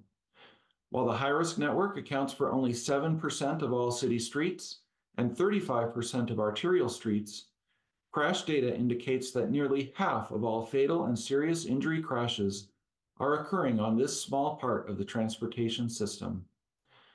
The three priority CAN corridors, Baseline Road, Iris Avenue, and Folsom Street, are on the high-risk network, as well as other CAN corridors that are active in planning, design, or implementation. Managing risk and mitigating crashes on the high-risk network will have an outsized impact on reducing fatal and serious injury crashes in our city. For this reason, many of the actions within the action plan are structured to focus first on the high-risk network, then other locations across the transportation system. Next slide. This slide provides an overview of the current action plan, along with a high-level summary of the implementation strategy and timeline. The plan consists of 20 actions divided into four categories. Nearly half of the actions focus on implementing engineering solutions. The plan also includes actions focused on enforcement, education, and evaluation. Graphics later in the presentation will illustrate how the action plan is anticipated to come to life and transform our streets over the next few years. Next slide. In 2024, staff are working to advance eight Vision Zero action plan actions. These actions will all work together to comprehensively update our internal department practices around traffic signal operations and pedestrian crossing treatments, as well as the use of automated enforcement. In addition to consultant assistance that will look at best practices nationwide, as well as be contextualized by the crash landscape here in Boulder, the guideline and practice updates will also involve a stakeholder group to represent the lived experience and expertise of our community. Based on the outcome of the practice and guidelines updates, we will also proactively identify locations in need of retrofit or future upgrade and work to identify funding sources and prioritize implementation of enhancements. In combination with future updates to the design and construction standards on staff's work plan in 2025, the city continues to think ahead on how to be responsive to the state of practice in transportation and proactively prepare for continued system-wide improvement. Next slide. Work is underway on all 20 actions contained in the Vision Zero action plan. Nine actions slated for 2023 or 2024 initiation are on track to be completed or have already been completed. Work has been initiated on the remaining 11 items with later timeframes, and all are anticipated to be completed. There are no actions for which work has not yet begun or that are anticipated to be delayed or not completed by 2027. Next slide. I'll now highlight the city's monumental $23 million Safe Streets and Roads grant and how it accelerates progress and commits transportation and mobility to delivering safety improvements within the five-year grant timeframe. Next slide. In December 2023, the United States Department of Transportation awarded the city with a monumental $23 million Safe Streets and Roads for All grant. The city received an approximately $3.2 million demonstration grant and an approximately $19.8 million implementation grant. These funds will significantly accelerate implementation of key actions to eliminate severe crashes. Projects will be in design over 2024 through 2025, with implementation and construction phases occurring between 2026 through 2028. As mentioned before, the core arterial network and Vision Zero action plan implementation are intertwined. The CAN initiative lives on through the funding commitments we have secured through award of competitive external grants, such as Safe Streets and Roads for All and the DRCOG Transportation Improvement Program. Segments of two CAN corridors, 30th Street and Arapahoe Avenue, were funded for implementation under Safe Streets and Roads for All, which secures a path forward and timeline via the grant-funded activities over the next five years. The projects funded with the SS4A grant are shown in the map on the slide and include the following. The demonstration grant involves conducting an evaluation of the safety of various geometric configurations and traffic control options for right turn slip lanes. It provides funding for us to modify 16 slip lanes and measure the effectiveness those changes have on things like yielding compliance, user comfort, and before-after crash history. Staff will be working to identify the locations to be included in the study this year. Projects for the implementation grant are, div- are divided into three categories intersection treatments, pedestrian crossing treatments, and multimodal arterial treatments. The nine locations for pedestrian crossing treatments include two locations along North Broadway, two locations along Folsom Street, two locations along 28th Street and 30th Street, respectively, and one location along Pearl Street east of 28th Street. With respect to multimodal arterial treatments, there are three main areas of focus, including Arapahoe Avenue from Culver Court to 33rd Street, the intersection of Arapahoe Avenue and 30th Street, and 30th Street from Pearl Street to Diagonal Highway. The, interse- the intersection treatments funded through the SS4A implementation grant correspond directly to locations identified in the Vision Zero action plan. The projects will install proven safety countermeasures to mitigate the most common crash types occurring at these locations. Next slide, please. These next slides illustrate how Boulder's safe system approach is carried out on projects, how we're being nimble to more quickly implement and evaluate safety improvements, and dive deeper into illustrating the transformation and changes to the transportation system that can be expected in the coming years, particularly because of the alignment of the action plan with the core arterial network and the Safe Streets and Roads for All grant. Next slide. One of Boulder's Vision Zero guiding principles is to practice a safe system approach. This approach recognizes that people make mistakes that can lead to crashes. The human body has limited physical ability to tolerate crash forces. The responsibility for making the mobility system safe is a shared responsibility across all road users and stakeholders and requires personal responsibility. And all parts of the system must be strengthened and properly maintained to multiply the impact of interventions and provide a safety net when any one part of the system is deficient. Next slide, please. You can see the city putting this FHWA safe system approach into action with our work on the baseline CAN corridor efforts to date. We started work on the first CAN priority corridor, Baseline Road, in 2022. We accelerated our project development process to implement safety improvements last year while we pursued grant funds through the DRCOG Transportation Improvement Program for more permanent capital intensive improvements. In just under a year, we conducted a design and community engagement process and installed the first use of, of the concrete tall curbs in the United States. We worked with a local artist, Talia Parcell, to incorporate public art. This project is a model for how we are approaching the project development process for subsequent priority corridor efforts on Iris Avenue and Folsom Street. It's important to note that we are pioneering a project development process through the CAN priority corridor efforts that happens in months, not years, to set us up for leveraging our limited local funds to pursue the external grant dollars that achieve high quality infrastructure for all ages and abilities.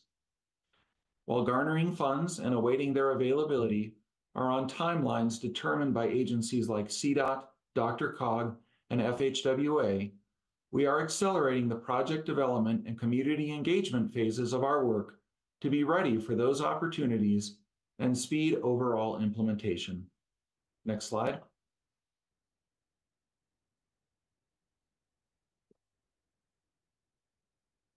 Another design approach that we are excited about for future efforts is the interim protected intersection we put in as part of baseline phase one. Using striping and delineators, we changed the operation at the Baseline Road Mohawk Drive intersection for this interim phase of the project. Also, intersection tightening at side streets were installed with striping and delineators. In phase two, we have grant funding to harden these elements or make them more permanent with concrete, like you see at our first protected intersection at 30th and Colorado. This phased approach allows us to observe how the new designs are operating and inform the permanent design. Next slide. To get a sense for our overall accelerated approach to project development, let's take a look at where we started with CAN implementation and where we'll be in 2028, just four years from now. This map shows the overlay of the CAN corridors on the high-risk network. The high-risk network is shown with yellow highlight, and the CAN corridors where they overlap in shades of blue on top. Segments of the core arterial network that have existing enhancements today are shown in light blue. Segments that are the focus of current and future project efforts are shown in darker blue. For context, we are also showing in thin gray lines the crosstown bikeways, or the key continuous bike routes that form the north-south and east-west spines of the low-stress bike network. These principal routes utilize a combination of existing off-street multi-use paths and on-street bike facilities like protected bike lanes and low-traffic residential streets. The CAN will not only help us address Vision Zero improvements for all modes along our busiest arterial streets, but also close important gaps in the overall bike network. Next slide. We've talked a bit about Vision Zero spot improvements coming to various corners of the city through our Vision Zero Action Plan action and SS4A funded projects. But here, let's look at what our system will look like in just four years due to the department's success in acting quickly to secure external funding after the CAN was established by City Council in 2022. By 2028, most of the CAN network will either be completed, shown in light blue on the map, or funded for design and engagement, shown in pink on the map. For example, Iris and Folsom will have design complete by 2025 and 2026, respectively. The city may have even secured funding for streets like Iris and Folsom by this time, or have implemented the first in a series of phased improvements. Only the small segments shown in dark blue may not have a path forward fully determined, and staff will be continuously working to identify opportunities to secure external funding for design community engagement, and implementation, leveraging our limited local dollars. Staff will also be considering quick build projects similar to those implemented with baseline phase one to close some of these gaps. In sum, the CAN will bring corridor level transformations to these streets in record time, amplified by the spot location Vision Zero action plan related improvements. Next slide. Let's take a quick look at the 30th Street CAN corridor, most of which falls along the high-risk network, as an example of how important it is that the core arterial network and Vision Zero action plan work together to quickly implement the safe, comfortable, and connected network we envision. And let's think about it again from the perspective of our bike network. As you can see on this map, there are not a lot of direct and reliable north-south connections for people biking. Thinking again about the continuous connectivity of our crosstown bikeway spines, it's more than a mile between the existing Foothills Parkway crosstown bikeway to the east and the 19th Street crosstown bikeway to the west.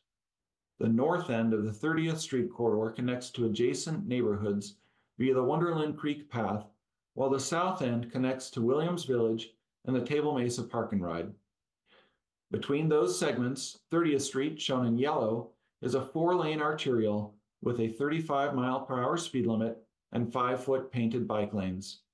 It connects to many major destinations, including CU East Campus, Scott Carpenter Park, 29th Street Mall, Boulder Junction, and the Orchard Grove manufactured home community. Next, let's look at how we are making progress in different segments of 30th Street. Next slide. By 2024, we'll see the completion of multimodal improvements along 30th Street south of Arapahoe, shown in the green segment in the middle of the map. Next slide. By 2026, we'll see completion of a protected intersection at 30th and Baseline. And by 2027 through 2028, we'll see even more segments completed through the North 30th Street project, the 30th and Arapahoe Protected Intersection project, and the South 30th Street project. Staff will continue to pursue funding for implementation of the remaining segments in yellow on the map as we move forward. Next slide. As mentioned before, implementation of the action plan will amplify the corridor level transportation excuse me, the corridor level transformations through the CAN initiative. And action three of the action plan specifically focuses on several CAN segments for implementation by 2027. This map illustrates how the specific action plan improvements funded by the Safe Streets and Roads for All grant relate to the core arterial network. Many crossing improvements will follow along CAN corridors, and large segments of both 30th Street and Arapahoe Avenue will receive corridor-level multimodal improvements through the SS4A funding. Also, connecting people, improving their access to daily destinations and opportunity is a big part of this story here. Living within one mile of SS4A funded improvements are over 20,000 older adults and youth, over 22,000 people of color, 3,400 car-free households, and over 6,000 people living with a disability, and over 45,000 members of Boulder's essential workforce. Next slide. Another Vision Zero guiding principle is to use a people-focused, data-driven, action-oriented, and interdisciplinary approach to carrying out the four E's, which consist of engineering, education, enforcement, and evaluation. These next few slides show how we are thinking beyond engineering solutions. Council adopted Resolution 1342 on December 7th, 2023, designating the corridors where automated enforcement can occur.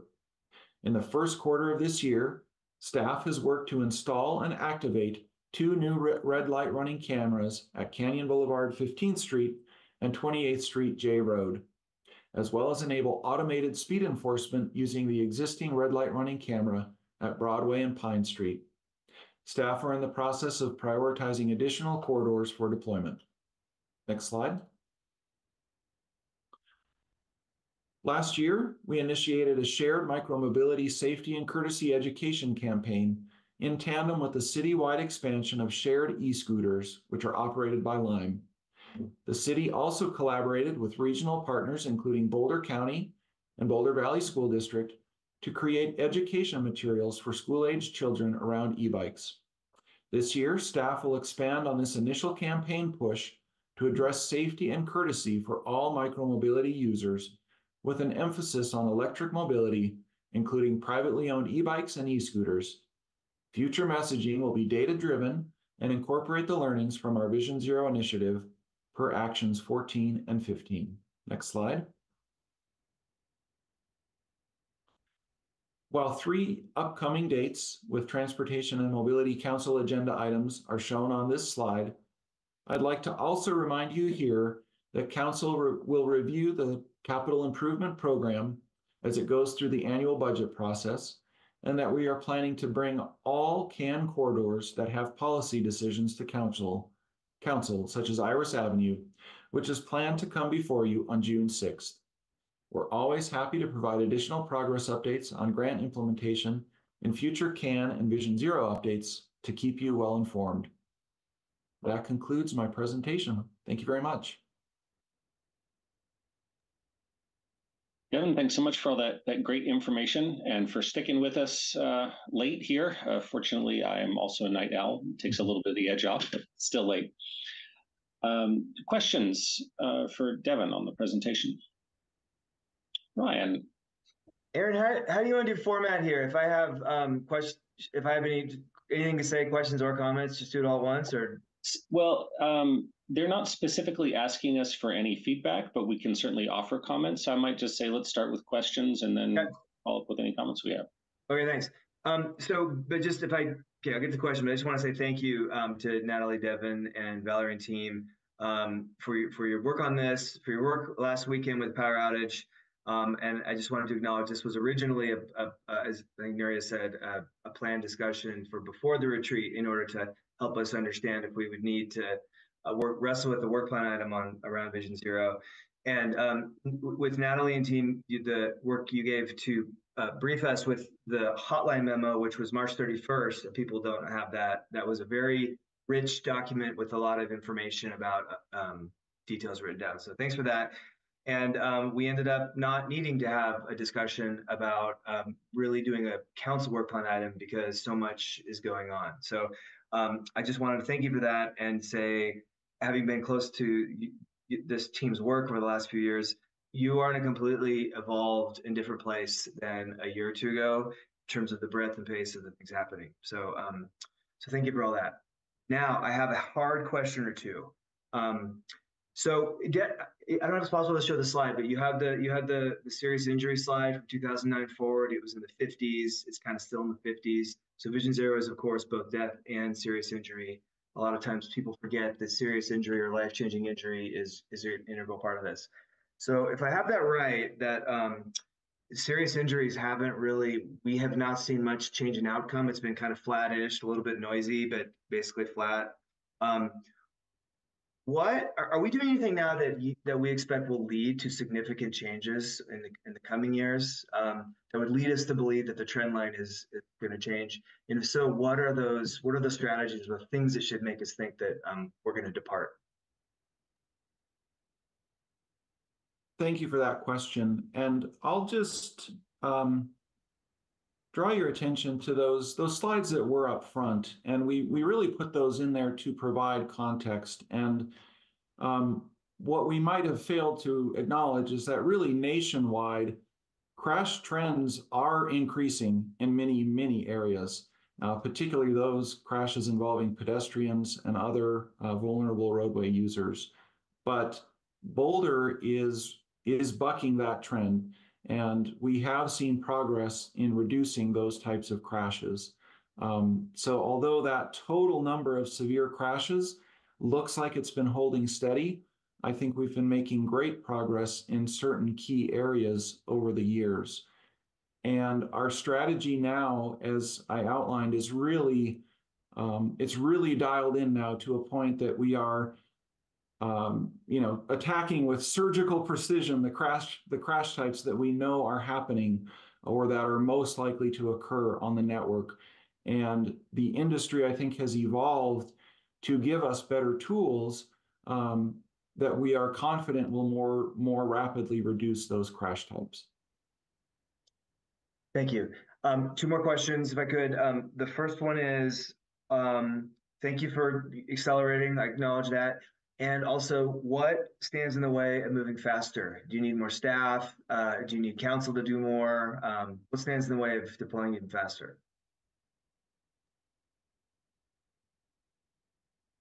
Yeah, I mean that's that's a lot to take in. Um, it's kind of a whirlwind after that after that presentation um, to to really see all things that we're focusing on from so many angles and you can see that we're coming at it not just from the engineering approach, but also from those other angles. Um, and it's really all geared toward building that, that redundant system that will allow for um, people to make mistakes and, and not lose their life because of it. Um, but Natalie, I don't know if you want to offer any guidance directly to Councilmember Schuhard's question. Yeah, good evening, Natalie Stiffler, Director of Transportation and Mobility. Um, appreciate the question, Ryan. I think, um, you know, there's always the desire to do more, more quickly. Um, and I think one of the things that it's important, like I kind of go back to as a touchstone is a lot of the that we're doing um, historically has taken us decades to do. These types of corridor projects are usually 10 plus year um, projects. And uh, the fact that we're able, I mean, baseline is we're going to basically finish baseline in a three year timeline. Um, and some of these other corridors may see that same pace. So I think that is a pretty huge shift. And that's probably record breaking for most of um, the United States. So if we can continue to keep up that pace, then I think that that um, will be great for our community and the way that we'll be able to do that is by leveraging regional grant dollars, state grant dollars, and federal grant, grant dollars, because um, as you all well know, our local funds can't um, make all of this possible. So we'll need to continue to seek funding to be able to stay on the pace that we're moving, which is um, pretty pretty quick. yeah, I, I, I can maybe add just a few other things that came to mind. Um, you know, one is, as I mentioned toward the end, we are going to be bringing the corridors to you, and we we would look to have, your guidance on trade-off decisions as these corridor projects advance. Um, but the other thing I think to highlight and and point out is the great work that Carl Castillo and team do um, at the state capitol. And I think there are ways that council can continue to um, continue to lobby at the state level for legislation, um, again, that really is geared at helping strengthen areas beyond the realm of engineering. And I think there are some things in the current session um, that Carl and team have been tracking um, that we would much appreciate your support on. Thanks. Okay, my final question is uh, just actually on that subject. So, what do you what do you need from council to be successful? Natalie, this might be for you in general. What do you what do you need from us? Um, yeah, so a couple things. I think I think Devin makes a good point about the um, the legislative session. There are a lot of transportation focused bills this session, and um, and you all are kind of plugged into that work. And there are opportunities where there will be more funding available to help our communities implement Vision Zero and uh, our transportation goals. Um, and additionally, I think as it as it comes through our project development process, council is going to be very involved in each of these corridors. They're going to come forward to you. Um, Iris will be coming to you in June for an update, and you'll continue to hear about Iris, and then more of these corridors will be coming to you. Um, and so, just staying in, engaged on some of these policy discussions is going to be super important as we move through the ones that have significant trade-offs um, associated with them. And I think the uh, the most important thing is to really focus on the outcomes. I know there was a lot of discussion about that at the retreat, but really the work that we're doing, um, there there is project development process that has to occur, and we're doing that work. We're engaging with community, and that takes time um, because there are significant trade-offs. And then at the end of the day, it's the outcomes that are going to matter. And so that's where where we really need council focus is on those outcomes. Thanks, Natalie. Aaron, that does it. But could I just say thanks? Um, and also, um, I I understand council is um, is going to be a big factor in providing sufficient public support and helping to explain to the community Boulder that this is we're doing this in the service, making the the whole system work better, and that this is this is um, something that if people have questions about, they should come maybe see us or invite people to see me. But um, we have staff out there that are doing evidence-based work, um, best practices, and any of the hard questions should come to council. And I I stand for these for this all of this as fast as possible. And um, I guess personally say, but invite people to come talk to me if you have questions um, about you know the need the need for this. And um, just thank you, Natalie and team, for your work. Hey, uh, Tina and then Nicole. Yep. Um, I just had a quick one. Uh, and thank you for doing the education around um, e-bikes for our youth in the city. That was something that um, I think people had a lot of concerns about with safety. Um, my question is in the increase in the motorcycle crashes, is that um, traditional motorcycles or would it include e-bikes that are motorcycles that aren't quite e-bikes? If I'm making sense, there's the, does that make sense? Yes, and I believe in this case, um, all are tracked as as motorcycles, but I would need to confirm with the police department on that to be 100% certain. I know there are specific um, regulations around the engine size. I think if it's 50 cc and up on the engine, it's it's essentially classified as a motorcycle. Um, but it's my understanding that these these are what you think of a motorcycle of in the in the traditional sense. Thank you.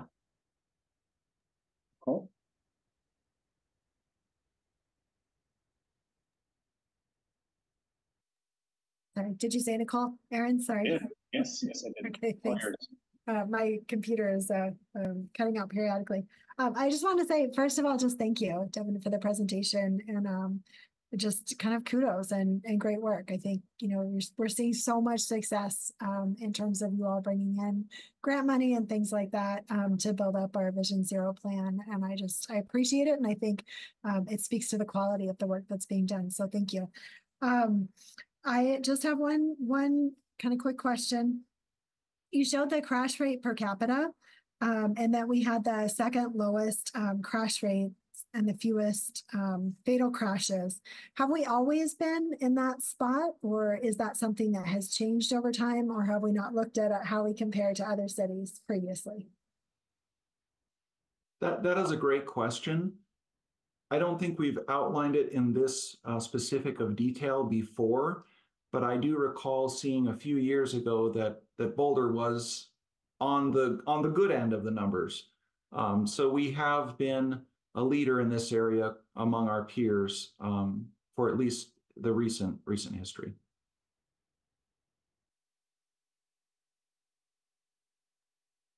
Is that it, Nicole? Great. Uh, Matt and then Taishya.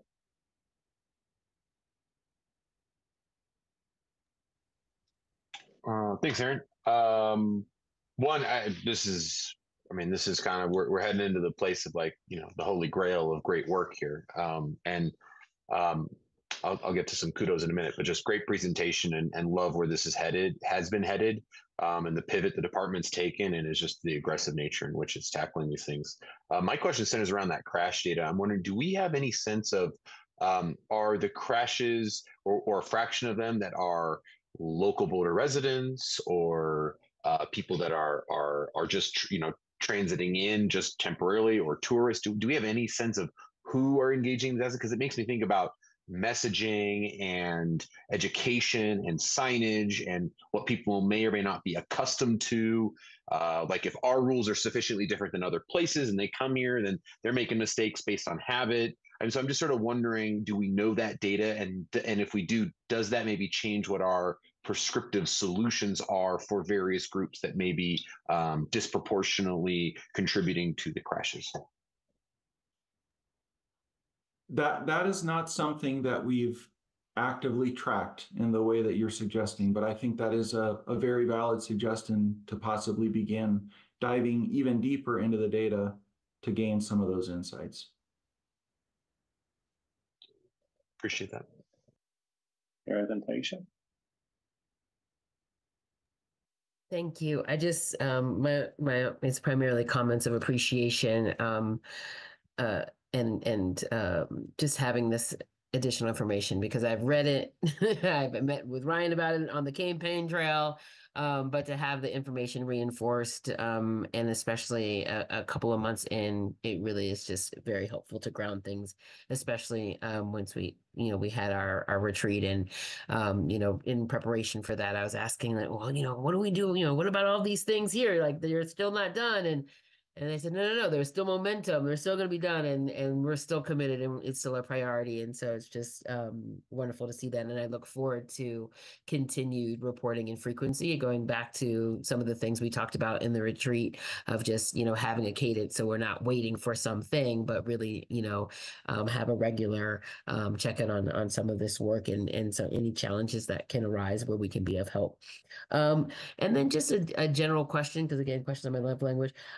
And I know that what the scope of this all is. Um, but I would be remiss if I didn't bring up our sidewalks. So who deals with the safety of our sidewalks? and I again, I'm just thinking from particularly our disabled community, and just you know, you know, there aren't deaths, but there are definitely lots of injuries and disruptions to the ability to live independently. So I'm just curious um, where where that conversation is happening, um, and if it can potentially benefit from the incredible work um, that's done around this effort. Thank you. Yeah, thank you for noticing that, you know, it really isn't just the roadways, right? It's this entire system that we're talking about, and it's the sidewalks and paths and really all the connections across the system. Um, so the sidewalks really are the responsibility of, of the Transportation and Mobility Department, and it's primarily uh, my colleagues in the Capital uh, Projects Division that deal most closely with um, sidewalk repair and curb ramp improvements. I'll just add. Ask because, oh, sorry. Yeah, I can just add. So we have an annual sidewalk improvement program in our capital improvement program. So on an annual basis, we're kind of chipping away based on our limited resources at improvements to our sidewalk network. Um, and we, Valerie, do you want to speak just to for a minute to the ADA transition plan um, and the opportunities there related to sidewalks. Right, sure. Um, the department had undergone an assessment of, um, uh, you know, accessibility considerations around our transportation system, um, and then the pandemic hit. But we are picking that that work back up again, um, and we will be um, putting in place an ADA transition plan that will consist of several action items that will help us um, better address the needs of people living with disabilities in our community as well as our aging community and and our elders. So, and I just offer this because again, I know a couple of years ago, um, the council had the opportunity to do a mobility tour in wheelchairs and i had the opportunity to do that the destination stewardship council around wonderland lake and they took us topher and the crew around into the neighborhood down to lucky's and i it was an eye-opening experience of how um, challenging that was um, and you know just the, the I, w- I had no idea um, how um, the sidewalk maintenance and how critical that was and i'm grateful to know that that is on your radar screen. I'm sorry, obviously, for the disruptions of COVID and the pandemic and all of the ripples effects, but the fact to know that that information exists, that it's there, um, and then it's on your radar screen. And so I had no doubt, but I just I hadn't heard people talk about it. So thank you for for for that. And again, I just um, really appreciate um, thinking about not only our people with disabilities, but also the anybody um, who has uh, mobility issues, particularly um, as we have what seven seven times um, 65 and up in our community as we look forward. So thank you. And I look forward to updates on that. And especially going back to Ryan's question about um, are there ways that we can, can support, right? Um, you know, that, that this aspect as well. Um, all those who are, are moving around our city in whatever mode that is. Thank you. Thanks, Tara. I only have comments. Are we good for that? Uh, I well, if I got one question, then then we can go to comments. So, uh, so Devin and, and, Natalie, you know, there's a, a, dazzling array of projects underway, and you know, we have that enormous twenty-three million dollar grant, and um, we have to get it done in the next few years. I just want to check in on on staffing. Like, how how are you all accommodating this uh, enormous raft of projects that, that you've got in the pipeline? I'm happy to take that one, Devin. Um, yeah, we are we're doing okay. I think we have started to look at how we can phase this work into our existing staff resources. Um, we this year had the opportunity to add a couple FTE in both our planning and engineering side. Um, and so we're hoping we're able to kind of re- remain stable over the next few years to be able to do this work. A lot of the work um, that happens as things move into construction really rely on outside consultants, right? Um, it's but we do need staff to manage these projects, and and some of the design work we'll also be doing in house. Um, but we have amazing staff to do a lot of that work, so um, we'll be shifting things to make it work, and hopefully won't need big increases in staff resources. Great, it's good to hear. I look forward to seeing you implement all of these great projects. Okay, so uh, like, looks like that's it for questions. If we have any final comments, uh, now is your chance to offer them, uh, but maybe we could keep them brief given the lateness of the hour. Uh, Tara. It is late, so I'll be brief, relatively brief. First of all, I want to thank Ryan because you asked for this, Ryan, and this was great. Why did I doubt you? No, I didn't doubt you. Um, the next thing I want to say is thank you to Devin. That was an incredible presentation. But I, I don't know if you remember when I first got on council and I questioned you and I, I wrote you an email. I said, why do you have to do this? And in my usual way. And you said, because it makes people drive slower. And I'm like, it does make me drive slower. And ever since that, I've been really paying attention to a lot of what you've been doing and to be a part in this way, you know, things that at first you're like, why? Um, but I think be what I can say is being on council now when all this great stuff is happening is so exciting. It's exciting to be a part of this change. And so Natalie, I know, you know, we're always like, can you do more? Can you do more? But you you're what an incredible department and a great presentation. And I was really excited to end the night on this and really happy that I don't have to be depressed about 30th Street and that there's hope. There's hope for 30th Street. That's what I got to say. Great. Any others? Ryan, did you get your comments in earlier? I think mostly, but maybe if I could just underline that, um, you know, this is a, a, presentation about safety and safety. This is one of the, the city's biggest areas of, of safety kind of challenges.